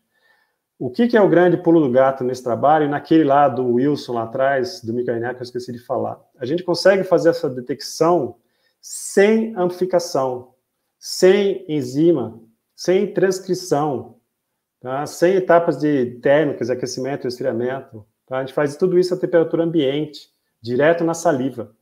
Né? Então, você vai, adiciona a partícula magnética, uma dispersão de partícula magnética e ouro na saliva, incuba, separa, adiciona no eletrodo e faz a detecção. Simples assim. Tá? E aqui, então, a gente tem os indivíduos negativos, aqui em verde, os positivos. E aqui a curva ROC, né? Então, a gente obteve aqui uma área sobre a curva de 93%, né? O que é bom, né, uma separação razoável, muito boa. Essas amostras forem inativadas, ou seja, a gente não trabalha com nada que envolve risco, ou seja, a gente são todas inativadas por calor, tá? Então, essa inativação, a gente tem alguma perda de material, né? A gente está detectando uma proteína, né? Mas mesmo havendo a perda, você vê que a, a detecção está lá, né? Ou seja, se você aplicar isso diretamente na amostra, pensando num dispositivo que você vai aplicar na pessoa ali, no momento que você tiver, provavelmente vai dar um sinal maior que você não tem essa etapa de aquecimento e de denaturação. Tá? E aí, um outro método, que é a patente que vai sair agora, ele é puramente colorimétrico. Tá? A gente não tem eletroquímica nesse procedimento, mas a gente já pega o material genético e trabalha é, em, ou em tubos individuais ou em, em placas né, de 96 postos, né? Então, também, é, esse a gente fez junto com a professora Esther é, Sabino, lá da USP, e aí ela está bastante interessada, está querendo aplicar isso em escolas lá, ela tem um projeto com o Itaú, enfim, a gente está discutindo essa possibilidade, claro, como somos nós, seriam eles, né? Eles teriam só que pegar a expertise, né? Mas então esse é o primeiro trabalho, né? E aí tem mais, mais essa patente para sair, tem mais uma, e aí tem outros trabalhos vindo aí também para a Covid, né? A gente está com um grupo grande, né? Então, aqui já começo aí para finalmente, né? Então, a gente tem a Tássia, o Wilson, a Thaís, a Stephanie, só a Stephanie que não está trabalhando com Covid. A Stephanie tem um trabalho fantástico, também é uma patente que vai estar tá saindo para diagnóstico de Hanseníase. Né? Então, esse trabalho de Hanseníase foi uma colega da farmácia, lá da Federal do Paraná, que ela trouxe tudo para nós. Ela trouxe as amostras, ela trouxe os alvos. Né? Então, foi um trabalho bastante interessante. Hanseníase é um, um baita de um problema de saúde que a gente não tem nem ideia, né? É muito, é muito complexo. Né? Então, ela também tem um trabalho bastante interessante, a patente está para sair. Uh, tem o Wagner também, que aí está tá no doutorado, o Daniel, que, que, que a gente agradece aí o, o, o, o, Belo, né? O Belo começou com o Belo, acabou vindo conosco, ele tinha a bolsa ali. né, temos o Evair, o Pablo e o William, né? Então esse é o nosso grupo hoje, né? E né, como de médico e louco todo mundo tem um pouco, né? Eu gostaria de agradecer a todos aí. Acho que eu não sei se falei demais, se eu fui muito rápido, um pouco profundo, mas a ideia é poder dar uma, uma ideia do que a gente está trabalhando, né? Uma ideia do que a gente vem desenvolvendo, né? E, e, e, nada disso seria possível sem os alunos, ou seja, os alunos são fantásticos, são eles que compram as minhas ideias, né? Ou seja, e, e aos parceiros da área de saúde, né? Eu, eu tenho devo muito a eles, ou seja, é, eu confesso que antes eu tinha muita dificuldade para trabalhar na área, por, porque eu tinha sempre que estar procurando um analito diferente, né? Eu ah, preciso de um analito novo, preciso de uma amostra nova, né? e hoje, hoje realmente isso acaba vindo diretamente até nós, então isso é algo bastante interessante, é bastante prazeroso poder trabalhar nessa área, né, com esse viés aplicado, né? Isso aí é algo que realmente que, que, que motiva a gente a trabalhar, né? Isso acho que motiva também os alunos, os alunos é, gostam bastante disso também e acho que eles se satisfazem bastante por conta disso, né? Bom, gente, acho que é isso. E aí, estou aberto a perguntas aí. Agradeço mais uma vez a todos, principalmente a comissão organizadora. Né? E estou aí, as perguntas que eu não respondi, por favor.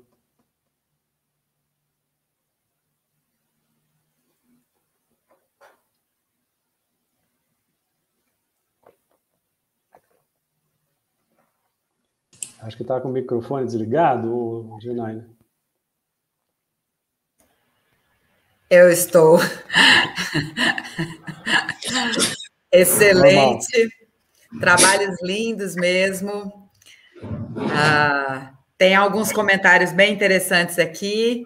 Diego. Pois é, Ronaldo. Parabéns aí pela, pela apresentação, excepcional, né, como sempre. Né? Eu acompanho muito o seu trabalho, né, com os artigos. Ultimamente, eu estou montando aqui pela primeira vez uma disciplina para pós-graduação, né, envolvendo biosensores eletroquímicos, né, uma coisa que eu já tinha vontade de fazer já tem um tempo, agora tive a oportunidade com o programa de pós. Abriram a chance, né, inclusive está na lista de aulas que eu ainda tenho que preparar, artigos seus, né, que eu peguei com coisas assim, é, é, absolutamente incríveis, né? Principalmente acho que foi esse do de, de, Alzheimer, que foi um dos últimos publicado nesse ano, né? Uma parte boa de poder montar a aula agora é que você pode pegar os trabalhos mais novos, mais recentes, né? E ver o que, que o mundo inteiro está fazendo. Então, é, não só o mundo inteiro, né? Aqui no Brasil dá para perceber, né? Com o seu trabalho, então, como a gente tem essas vertentes, né? Ser trabalhadas, né? Só a para quebrar também a rotina, eu também acompanhei lá no seu slide, né? Só áudio e só áudio e vídeo, né? Tô, então, pentei o cabelo hoje antes de vir para cá, a Gianani passou perfume, né? Então tá todo mundo na, na mesma vibe. na verdade, eu fiz outras coisas, né, Diego? Mas sem comentários. Sem comentários.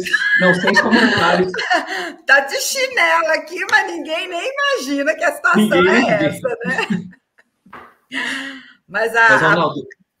a, esse remoto nos dá a possibilidade de uma conversa como essa, né? Que se não fosse o isolamento social, isso não seria possível, ver tantas coisas como você apresentou para nós aqui.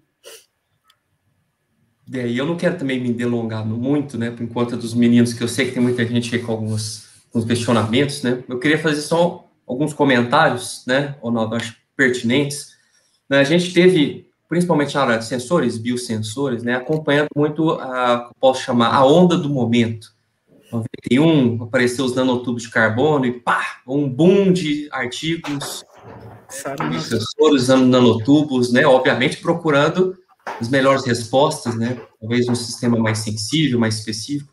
Aí vemos nanopartículas, pontos quânticos, é, grafeno, óxido de grafeno reduzido ainda está em alto junto com os MIPS, e eu estou vendo muito muitos artigos, procurando alguns até na Covid, que é o que você apresentou, agora com as nanopartículas magnéticas, né, usando o imã de neodímio na maioria das vezes para fazer aplicações, eu fico pensando, nos próximos anos, qual será a próxima onda do momento? Ou, ou ainda não temos algo à frente para poder discutir? Hoje ainda estamos muito no grafeno, nos MIPS, e agora as nanopartículas magnéticas. Você consegue visualizar alguma coisa além disso para frente já? Nossa, perspectivas. Essa é uma, perspectivas. É difícil, hein, Diego? É o Bela aí falou na, na, apresentação dele, trabalhando com umas coisas fantásticas lá, né, de, de, de, de líquidos eutéticos, né, ou seja, então tem algumas coisas surgindo aí, né, é difícil dizer, assim, eu, eu confesso que um pouco eu não estou conseguindo acompanhar os mais recentes, eu, eu confesso que, assim, é, é muito difícil trabalhar com Covid, né, que está tudo saindo, está tudo né, você está fazendo e está vendo, a coisa está saindo, e nossa, é muito angustiante trabalhar com isso. Né? Quando você está numa coisa que já não não está tanto na linha de frente, né? Então a gente, a gente, a gente se pega às vezes nessa situação, né? Mas eu acho que ainda a questão de materiais avançados é algo que ainda vai estar tá aí e vai estar tá vindo por muito tempo. Eu vejo hoje, tem um pessoal que tem trabalhado com, com materiais avançados, e materiais avançados tem nano, e também às vezes não tem o nano, mas enfim. Tem gente trabalhando com materiais avançados que desenvolve, é, fazem um estudo teórico, por exemplo, e envolve uma face, por exemplo, então você tem um nanocristal ali e uma face daquele nanocristal, às vezes ele tem atividade maior. Né? Então tem gente hoje trabalhando como fazer uma síntese que vai te dar aquela face mais ativa, ou mais seletiva, ou seja lá que for, né? E aí acho que vai vir aí uma série de novos sensores nessa linha. Então, por exemplo, tem um colega no departamento que tem feito algo com isso, com o pessoal da China, com o pessoal dos Estados Unidos, bastante interessante. Então, que eles conseguem fazer clivagem de DNA com nanopartícula de ouro, com umas coisas assim. Então, você, você consegue uma atividade enzimática com um material com uma nanopartícula. Então, acho que deve vir alguma coisa nesse sentido, né? Então, que você, ou seja, a gente já faz, de certa forma, isso quando a gente tenta modificar o eletrodo com, com né, o ponto quântico, com, com grafeno, ou seja, você está procurando ali um, não só o melhor processo de transferência de carga, mas uma seletividade, né? A gente ainda trabalha com isso de forma muito empírica, né? Vamos, ah, vamos para cá, vamos ver o que vai dar, né? Ou seja, a gente trabalha pouco com desenvolvimento mais voltado um estudo teórico, por exemplo, que vai te apontar um caminho e falar, oh, isso aqui talvez vai dar certo com aquilo ali. Né? Isso aí acho que é interessante, mas acho que esses novos materiais aí, que com propriedades um pouco mais... É, que, que eles, as sínteses deles são feitos para expor uma área, né? Isso já faz uns anos, isso não é tão recente, mas eu não tenho visto isso ainda muito eletroquímico, mas acho que vai chegar. Entendeu? Então já tem algumas coisas interessantes nesse sentido. Então, lá no partícula de ouro aí, que é uma coisa banal, já tem umas hoje diferenciadas que tem umas propriedades de, fora do comum, né? Mas aquilo que eu falo, por exemplo, para eu que estou trabalhando nessa interface muito de inovação, né, a gente procura trabalhar voltado um pouco, né, a gente faz um pouco dos dois, né, mas a gente também busca essa questão de poder estar tá, aquilo que a gente desenvolve está chegando no mercado, a gente sonha um pouco com isso, né. Aí um material desse já não me interessa tanto, porque quem é que vai produzir, vai vender para o cara que vai desenvolver na startup? Né? Eu preciso de um sistema bruto. Né? Eu, o nosso sistema eletroquímico, eu consigo limite de detecção muito baixo, mas ele é um sistema bruto. Eu trabalho com processo de transferência de carga maciço, massivo. Né? Então, eu tenho um monte de nanopartículas de ouro, eu tenho um monte de HRP, eu tenho um monte de complexo de rutênio que uso para eletroluminescência. Então, eu consigo esse processo massivamente, isso por conta da partícula magnética. A gente tem um outro trabalho que a gente usa a propriedade eletroquímica da partícula magnética. Tá? A, maioria, a, maioria, deles, ele, ele, ela serve, a partícula magnética serve para mim para fazer captura e separação e ancoramento em grande quantidade. Mas eu acho que essa linha aí de materiais avançados, né, com propriedades específicas, desenvolvidos propriedades específicas, deve vir por aí para a parte de eletro, eletroquímica, eletroanalítica.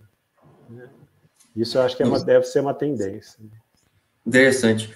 No, no na, na, sua apresentação, né, gostei muito, assim, uma coisa que eu falo muito para os meus alunos, né, também em aula, é, não adianta eu fazer alguma coisa muito complexa, porque, como você mesmo... Das empresas, ó, peraí, mas eu quero uma coisa que funciona, eu quero uma coisa... O que, que você pode me mostrar aqui que, que dá para fazer? Né, alguma tendência mais simples. Então, é interessante isso, durante a pandemia, apareceu agora um boom de artigos né, de Covid para cima e para baixo, inclusive biosensores. Na época, eu estava com um aluno aqui, a gente estava indo para trabalhar, antes mesmo de saber que tinha pandemia, com o vírus sincicial respiratório. né, com parceria com o professor aqui, o virologista, né, nós estava já para começar o trabalho, veio a pandemia parou tudo. Né, mas ele já tinha coisa escrita, eu falei, olha, vamos fazer algo de revisão, vamos fazer uma revisão de biosensores para vírus respiratórios, né, né, até que a gente conseguiu publicar e, e na época, até publicar, nós tínhamos dois, três artigos, né, publicados. Hoje, você foi procurar, você tem revisões de biosensores para COVID, ou seja, coisas é, que eu estou vendo pelos trabalhos, o pessoal buscando mais para ser aplicado o mais rápido possível, do que aquela coisa de várias etapas, né? por exemplo, teve um, um artigo do um rapaz lá, os pesquisadores fizeram um suave de eletrodo. Então, o próprio suave é um eletrodo para fazer a identificação, ou seja, a mínima quantidade de etapas possíveis. O eletrodo coleta a amostra, né? Utilização daqueles micropotenciostatos que você conecta no smartphone para fazer em casa. Então, são coisas assim que mostrou algo é, excepcional. A curva ROC que você apresentou, que eu é, aprendi junto com um colega meu no ano passado para poder publicar, porque é algo impressionante, né? A pessoa está doente ou não está. Qual que é o cutoff que você põe arbitrário? Né? Essa curva ROC tem umas maneiras matemáticas de você resolver isso para falar, tem, não tem, ajuda ou não ajuda. Então, são coisas novas, excepcionais. Mas, né, mesmo eu vendo esse tanto de coisa, eu fico pensando, ainda não tem né, como nós temos aí o biosensor de glicose, a torta direito, na Roche, né, a Abbott, né, uma das empresas aí, quase monopólio de, de, de biosensor de glicose, o que, que você acha que falta para a gente ter esses dispositivos saindo do papel e indo para a prática, né, vendo que agora temos muitos dispositivos até mais simples e mais práticos. Estou vendo que no seu caso muita patente ainda em, em análise, ou seja, tá, já é um bom caminho, né, mas que, que você acha que ainda falta para a gente dar aquele pontapé e falar assim, ó, tal empresa, tal indústria, comprei a ideia, vamos para frente? Olha, isso é, é, bastante complexo mesmo, né? Porque assim é, é, o que a gente, claro que a gente quer, né? A gente quer que essas patentes. Eu, eu, eu costumo dizer que patente ela não deveria servir para currículo, ela deveria servir para currículo somente a patente licenciada né? Porque a patente em si, ela não, claro que tem, você tem o trabalho de executar, né, a, a, o trabalho, mas você pode patentear qualquer coisa. Né? Acho que esse é o grande diferencial. Então, eu acho que o que devia ter peso mesmo é uma patente licenciada, que você patenteia e consegue botar no mercado. Ela, essa daí realmente ela deveria ter um peso fantástico, porque senão é uma patente a mais. O nosso, o nosso programa de pós-graduação, nosso, nossa agência de inovação, ela parou um pouco, mas antes ela fazia, ela tinha um processo seletivo interno, né? Então você tinha que ir lá e tinha uma banca, você tinha que vender e convencer a banca que você tinha era comercial. Se você não convencesse, não depositava. Né? Então, aí você pegava o nosso número de patentes depositadas, era menor que o, claro, que o USP, que o Unicamp, claro. Mas quando você pegava licenciado sobre depositado, o nosso batia USP e Unicamp. Né? Porque realmente não se gastava dinheiro para patentear, porque patente tem custo, né? Tem que pagar escritório, tem tudo, tem que pagar depósito, depois tem que pagar ano a ano. Né? Então, é, essa é uma dificuldade que já começa aí, né? Ou seja, ao longo dos anos, desde a primeira patente, a gente foi aprendendo a conversar com as empresas e a conversar. A, a, não tem nenhuma patente licenciada ainda, tá? Mas a gente aprende a conversar. Então, eu conversei com a Rocha, conversei com a Johnson Johnson, conversei com empresas pequenas. Eles, a, o comércio, o mercado também é diferente. O mercado nacional para diagnóstico, o mercado nacional, europeu, americano é completamente diferente. Tá?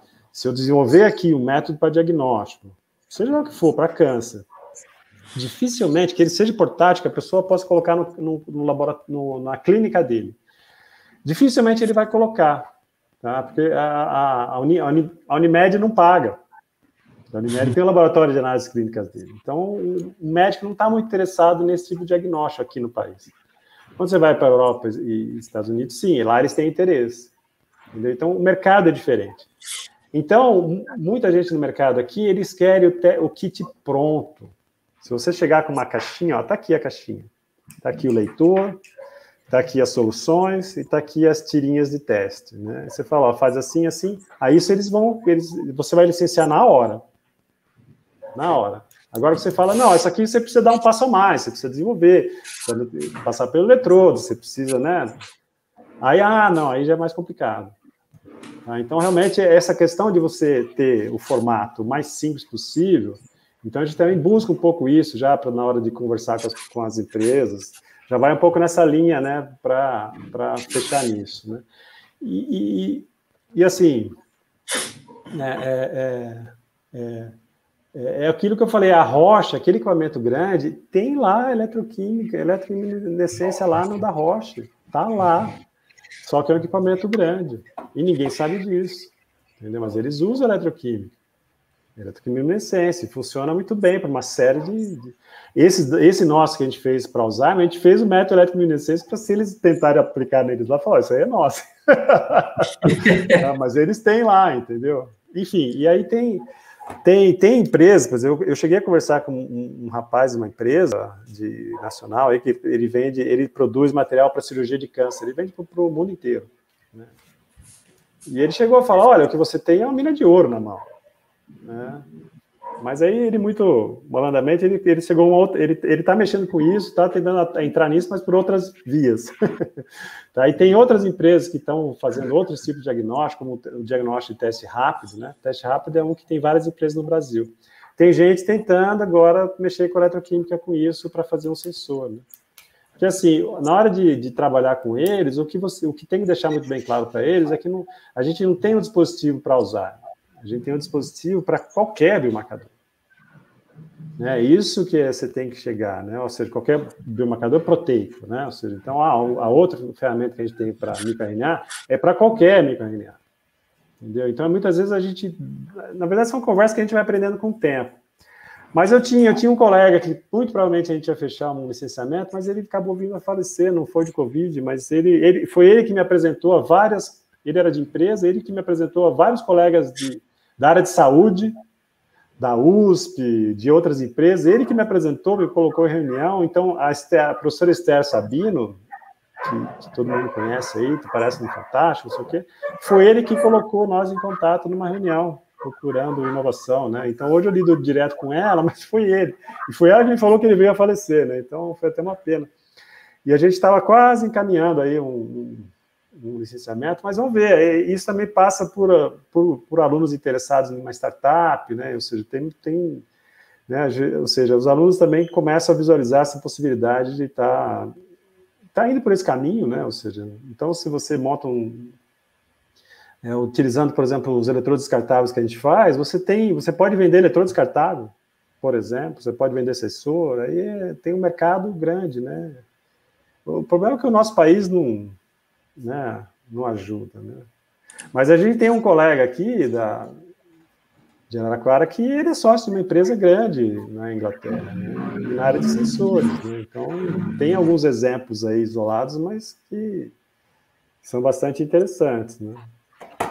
É, o, que eu, o que mostra, né, o que a gente já tinha falado outras vezes, eu com a Dianane, né, às vezes não funciona nada sem uma parceria.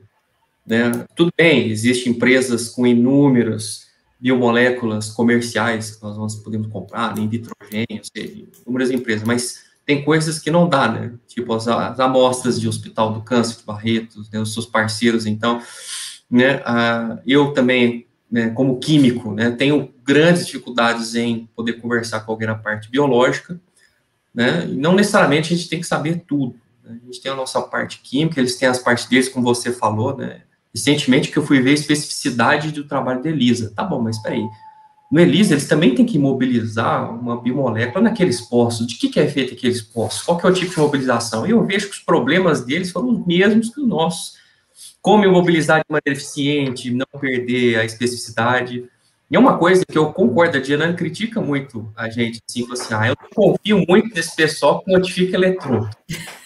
Não dá para confiar no que está modificado, confiar, e é verdade, né? A gente, em 1916, acho que foi a primeira noção que eu vi, não sei se tem antes, pode ter antes, 1916, antes do, Clark falar do sensor de glicose, teve lá pessoal fazendo mobilização de enzima em cima de é, de grafite, né? E o pessoal falando, mas para que você está fazendo isso se livre os anticorpos, antígenos, enzimas são muito mais ativos são, né? Então, tem, tem, tem essa crítica. E uma das coisas que eu vi, não só na sua apresentação, eu tinha visto, né? A parte das nanopartículas magnéticas ajuda muito isso.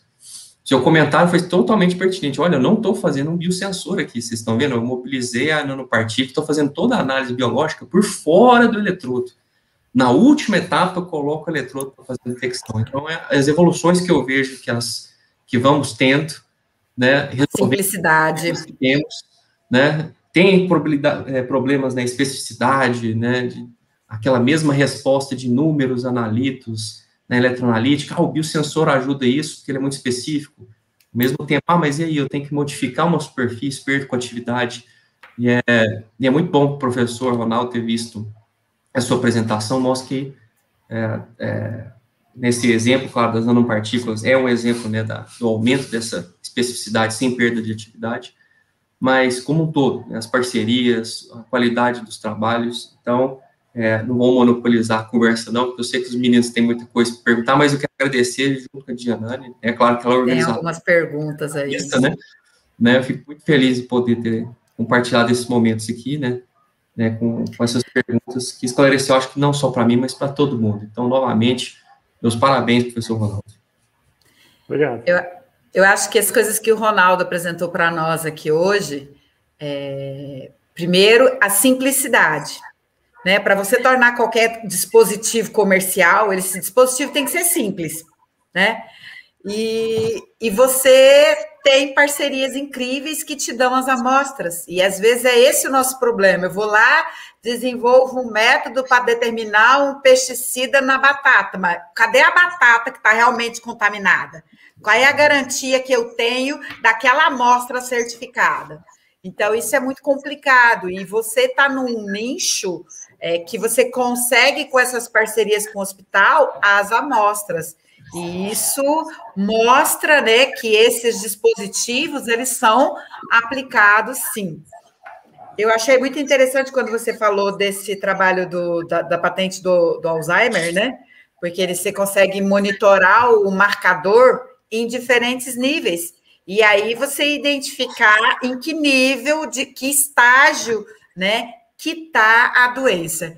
E aí eu fiquei imaginando, eu sempre levo para o lado pessoal, eu fiquei imaginando que existe um marcador, o CA125, que é um marcador que, dependendo do nível, ele pode ser um diagnóstico de endometriose e infertilidade, e dependendo do nível, é um marcador que indica câncer. É, e é um, um exame muito complicado, que dá muito falso, falso positivo. E aí eu fiquei logo pensando: será que seria possível desenvolver um marcador similar a esse que você trabalhou para o Alzheimer, que você consegue detectar vários estágios, de ter uma melhor confiabilidade para o CA 125, para conseguir diferenciar uma paciente saudável de uma que está com endometriose estágio 1, estágio 2, estágio 3 ou estágio 4, ou finalmente o câncer? Tem alguma coisa já nessa linha? Uma curiosidade. Travou o Ronaldo? Opa, travou o Ronaldo. Parece que travou. Ronaldo caiu. Esperar uns minutinhos ver se ele volta. Tem algumas perguntas aqui. Thalita, você Sim. vai selecionar as perguntas para apresentar para o professor, se ele conseguir voltar? É, vou selecionar sim. Só Vamos esperar uns, falar. Esperar uns minutinhos ver se ele volta. Deixa eu ver se ele mandou mensagem aqui. Uhum, tranquilo.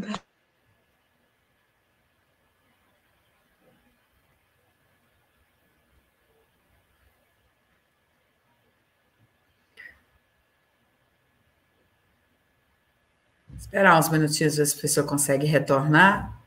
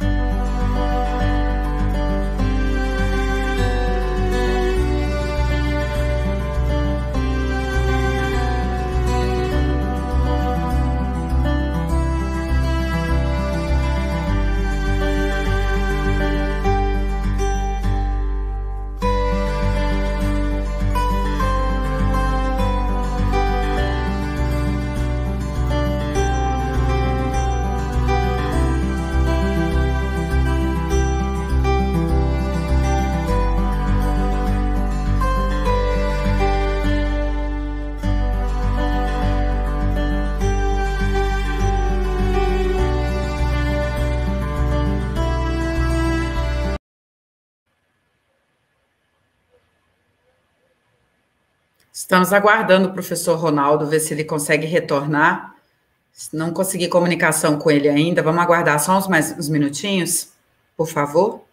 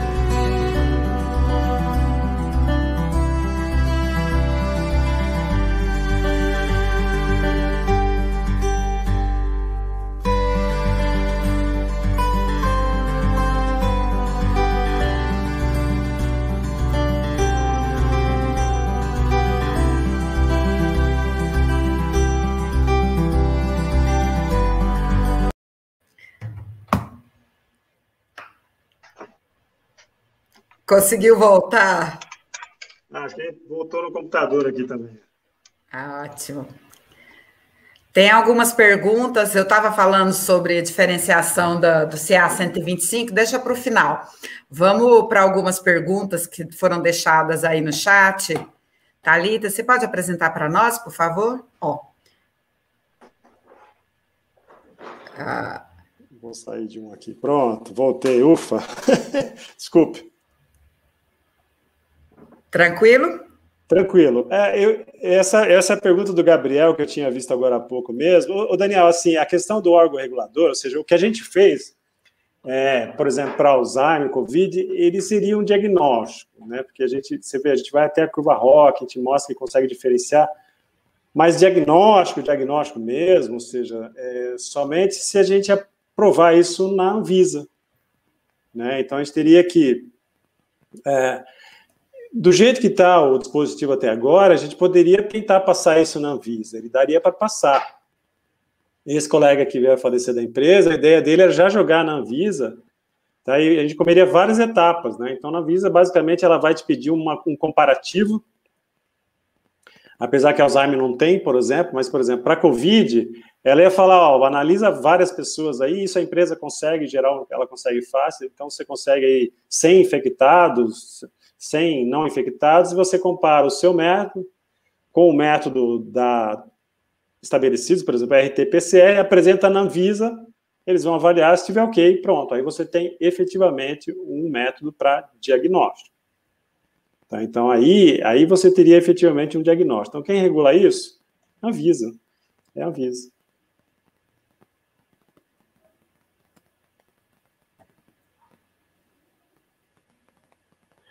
É, a anterior ali, eu, eu, não, eu, não, eu comi bolo ali, mas. É... Ah, ele tá, o Giovanni está perguntando sobre o, uma curiosidade sobre o campo ah, tá. magnético. Tá. Não, então, a, o campo magnético da partícula magnética no eletrodo não, não, interfere. Ou seja, como a gente trabalha de forma massiva, né? Ou seja, é, é, a gente procura ali, a gente tem muita na, na partícula de ouro, muita enzima, muito material eletrominescente ali é, eles sobrepõem, se houver uma interferência, que a gente nem sabe, mas a gente nem nunca estudou nesse ponto, mas o sinal é tão intenso, na grande maioria, que a gente suplanta esse problema, né? Tá? Então não tem. É isso aí, Meme. É, é, é uma unidade, né, Belo? A micro, micro é unidade de é, é unidade de proteína, né? Então é uma microunidade de proteína. É uma, é uma unidade que, é, que só o CA, só o, o CA153 trabalha com isso. Então, você compra a proteína, vem nessa unidade, você, você trabalha com essa unidade, né? As outras proteínas todas é micrograma por ml, faz muito mais sentido, né? Mas, enfim, é, é, é mais histórico aí, porque que é essa unidade. Né? No sistema microfluídico, o Daniela, a gente trabalha em vários tipos. A gente tem sistema em que tem eletrodos, é, é, células eletroquímicas individuais ou realmente eletrodos independentes. Em geral, a gente tem muito potenciostato, que você pode trabalhar com oito eletrodos de trabalho ao mesmo tempo e uma referência só e um contra só para todo mundo. Né? Então, isso facilita bastante o dispositivo. Né? Então, você tem oito eletrodos que funcionam todos independentes e você tem o mesmo referência e o mesmo, o mesmo contra. Né? A construção desses dispositivos é muito simples, é por serigrafia?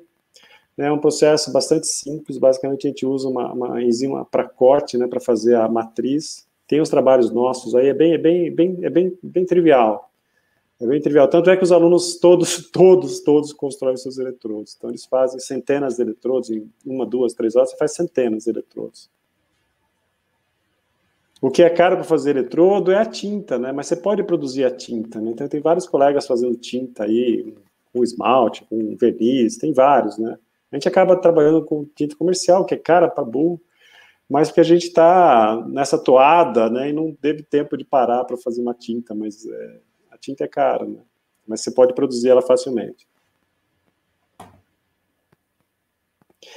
Não, então, a, a, integração com o smartphone, ela já é uma realidade, né? Se a gente for pensar no que a gente tem em termos de, de, de sistema de detecção com, com, com o imã por trás do eletrodo, por exemplo, é só, é só comprar o, aparelhinho, botar no celular e medir, não, não vejo nenhum problema nisso, né? Eu não, eu não sei se no futuro vai ser dessa forma, sabe? A gente fica pensando, ah, não, eu vou fazer o, o biomarcador para câncer em casa, né? Sabe, tem umas questões aí... É, éticas bastante complicadas, né? Ou seja, o biomarcador proteico tem muitos, mas a grande maioria deles não tem seletividade, né? Que acho que é o que a Juliana estava falando e cortou, né? Então, hoje o que se busca é você não trabalhar com um, mas com 10, 20, 30 biomarcadores. Então, se você conseguir pegar uma gota de sangue e analisar 50 biomarcadores, Aí você vai poder dizer, olha, isso aqui pode ser um câncer tal, pode ser um câncer tal. Né? Mas um, você tem muito falso positivo, você tem muito falso negativo, e tem muita gente, o, câncer de próstata é, é o caso clássico, né? Porque ele é analisado todo ano. Mas você tem 40% de falso positivo e falso negativo. O pessoal fala que o, PSA ele é um marcador da próstata e não do câncer de próstata. Né? Então, então, nesse trabalho, por exemplo, do que, que a gente publicou junto com o Hans, ele tem oito biomarcadores diferentes, e ainda assim não, não deu uma, um diagnóstico também assim muito marcante, né? É difícil, né? É um pouco frustrante, né? O que está chegando são os microRNAs, né? Tem muito microRNA novo chegando, né? Então aí pode ser que, que abra um leque um pouco, né? Então microRNA tem, em geral, o biomarcador proteico, todo mundo já tem aquele biomarcador, né? O nível, a concentração dele que vai alterar, ou vai subir ou vai diminuir, dependendo da enfermidade, né? Mas isso, às vezes a pessoa tem câncer de próstata, PSA não sobe, às vezes ela não tem e sobe, então é difícil, um só, né? Então, fenóis não. Fenóis, acho que o, o, Belo tem uma bagagem enorme aí com fenóis, aí tem vários alunos dele. Eu confesso que eu tenho muito pouca, não tenho com... Né, nos últimos anos eu tenho trabalhado mais em biomarcadores mesmo, macromoléculas. Né? A gente tem um trabalho, eu tenho um trabalho com impressora, com impressão 3D, a gente tem impressão lá em laboratório, mas a gente é, a gente tem desenvolvido dispositivos, né? Mais dispositivo, não necessariamente o eletrodo, né?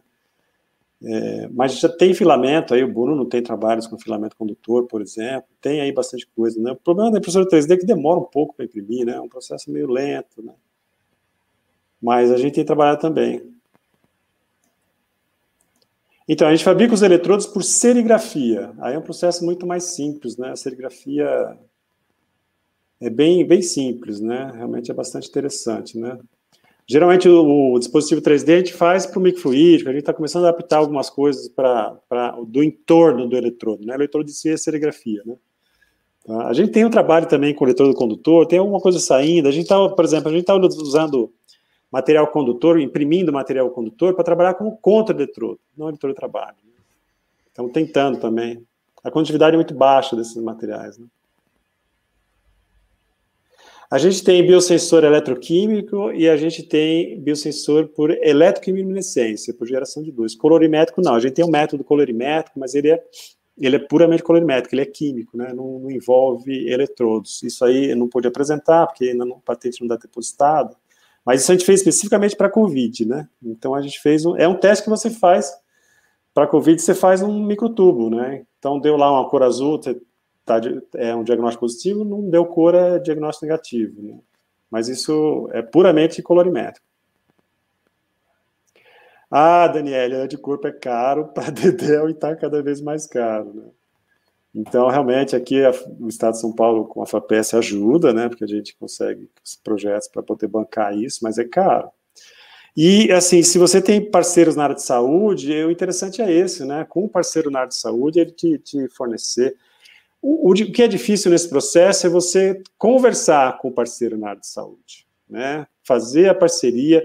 Tem umas que simplesmente não dão certo. Você começa, tá tudo animado e, e dá nos bons nagos. Geralmente a parceria minha é assim: olha, você me apresenta o problema na sua área, me apresenta o biomarcador interessante na sua área, você me fala quais são, eu compro tudo, desenvolvo. Depois que eu desenvolver o sensor, você vem com as amostras. Então, só vou depois conversar com ele quando eu tiver as, o método desenvolvido no laboratório, quando a gente chegou no desenvolvido, método todo desenvolvido, e a gente chega nas amostras. Ó, dá as amostras, agora a gente vai fazer o teste. Ele te dá o problema e você leva a solução. Isso, mas aí ele, ele tem que me dar o problema. Eu encosto ele na parede, a gente escreve o projeto junto. Eu falo, não, eu quero um biomarcador seu, da sua área, de interesse da sua área. A gente não vai mais buscar aquele biomarcador comum, tudo faz. A gente vai a gente, por exemplo, do microRNA para câncer de cabeça e pescoço é um exemplo, é um que o Hospital do Câncer tinha patenteado, eles tinham descoberto. Então, eles já fizeram lá, a gente já puxou e já fez junto, e foi o nosso primeiro trabalho com material genético, né, para valer, assim, que deu um resultado que competitivo com a RT-PCR, né, então essa patente é bastante interessante, e é difícil você falar para a empresa, olha, isso aqui abre um mercado enorme, tudo que você faz com a com a você possa, passa a fazer aqui de forma simples. Isso aí que é difícil você chegar nesse convencimento. Ô, Paulo, ó o Paulo Brasil, tudo bem, Paulo?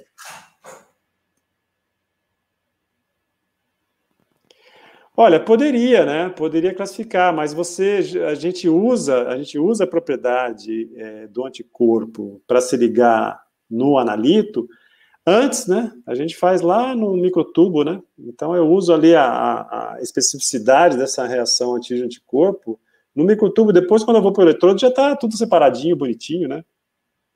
É, é, difícil, né, pensar nessa questão, né? Ou seja, é ou não é? Então eu até falo para meus alunos quando vão dar nome nos projetos, falo, você não vai desenvolver um imunossensor, você não vai fazer um biosensor, você vai fazer um, um ensaio, né? Porque a gente tem todo um, um preparo antes. Então você, a gente desenvolve ensaios né?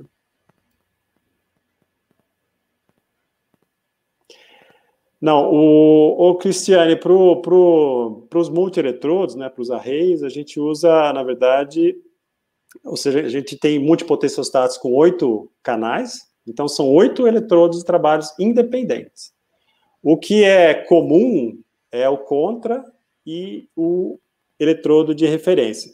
Mas nem sempre, a gente pode trabalhar com oito eletrodos de trabalho, oito contras e oito referências, ou oito eletrodos de trabalhos, um contra e um referência.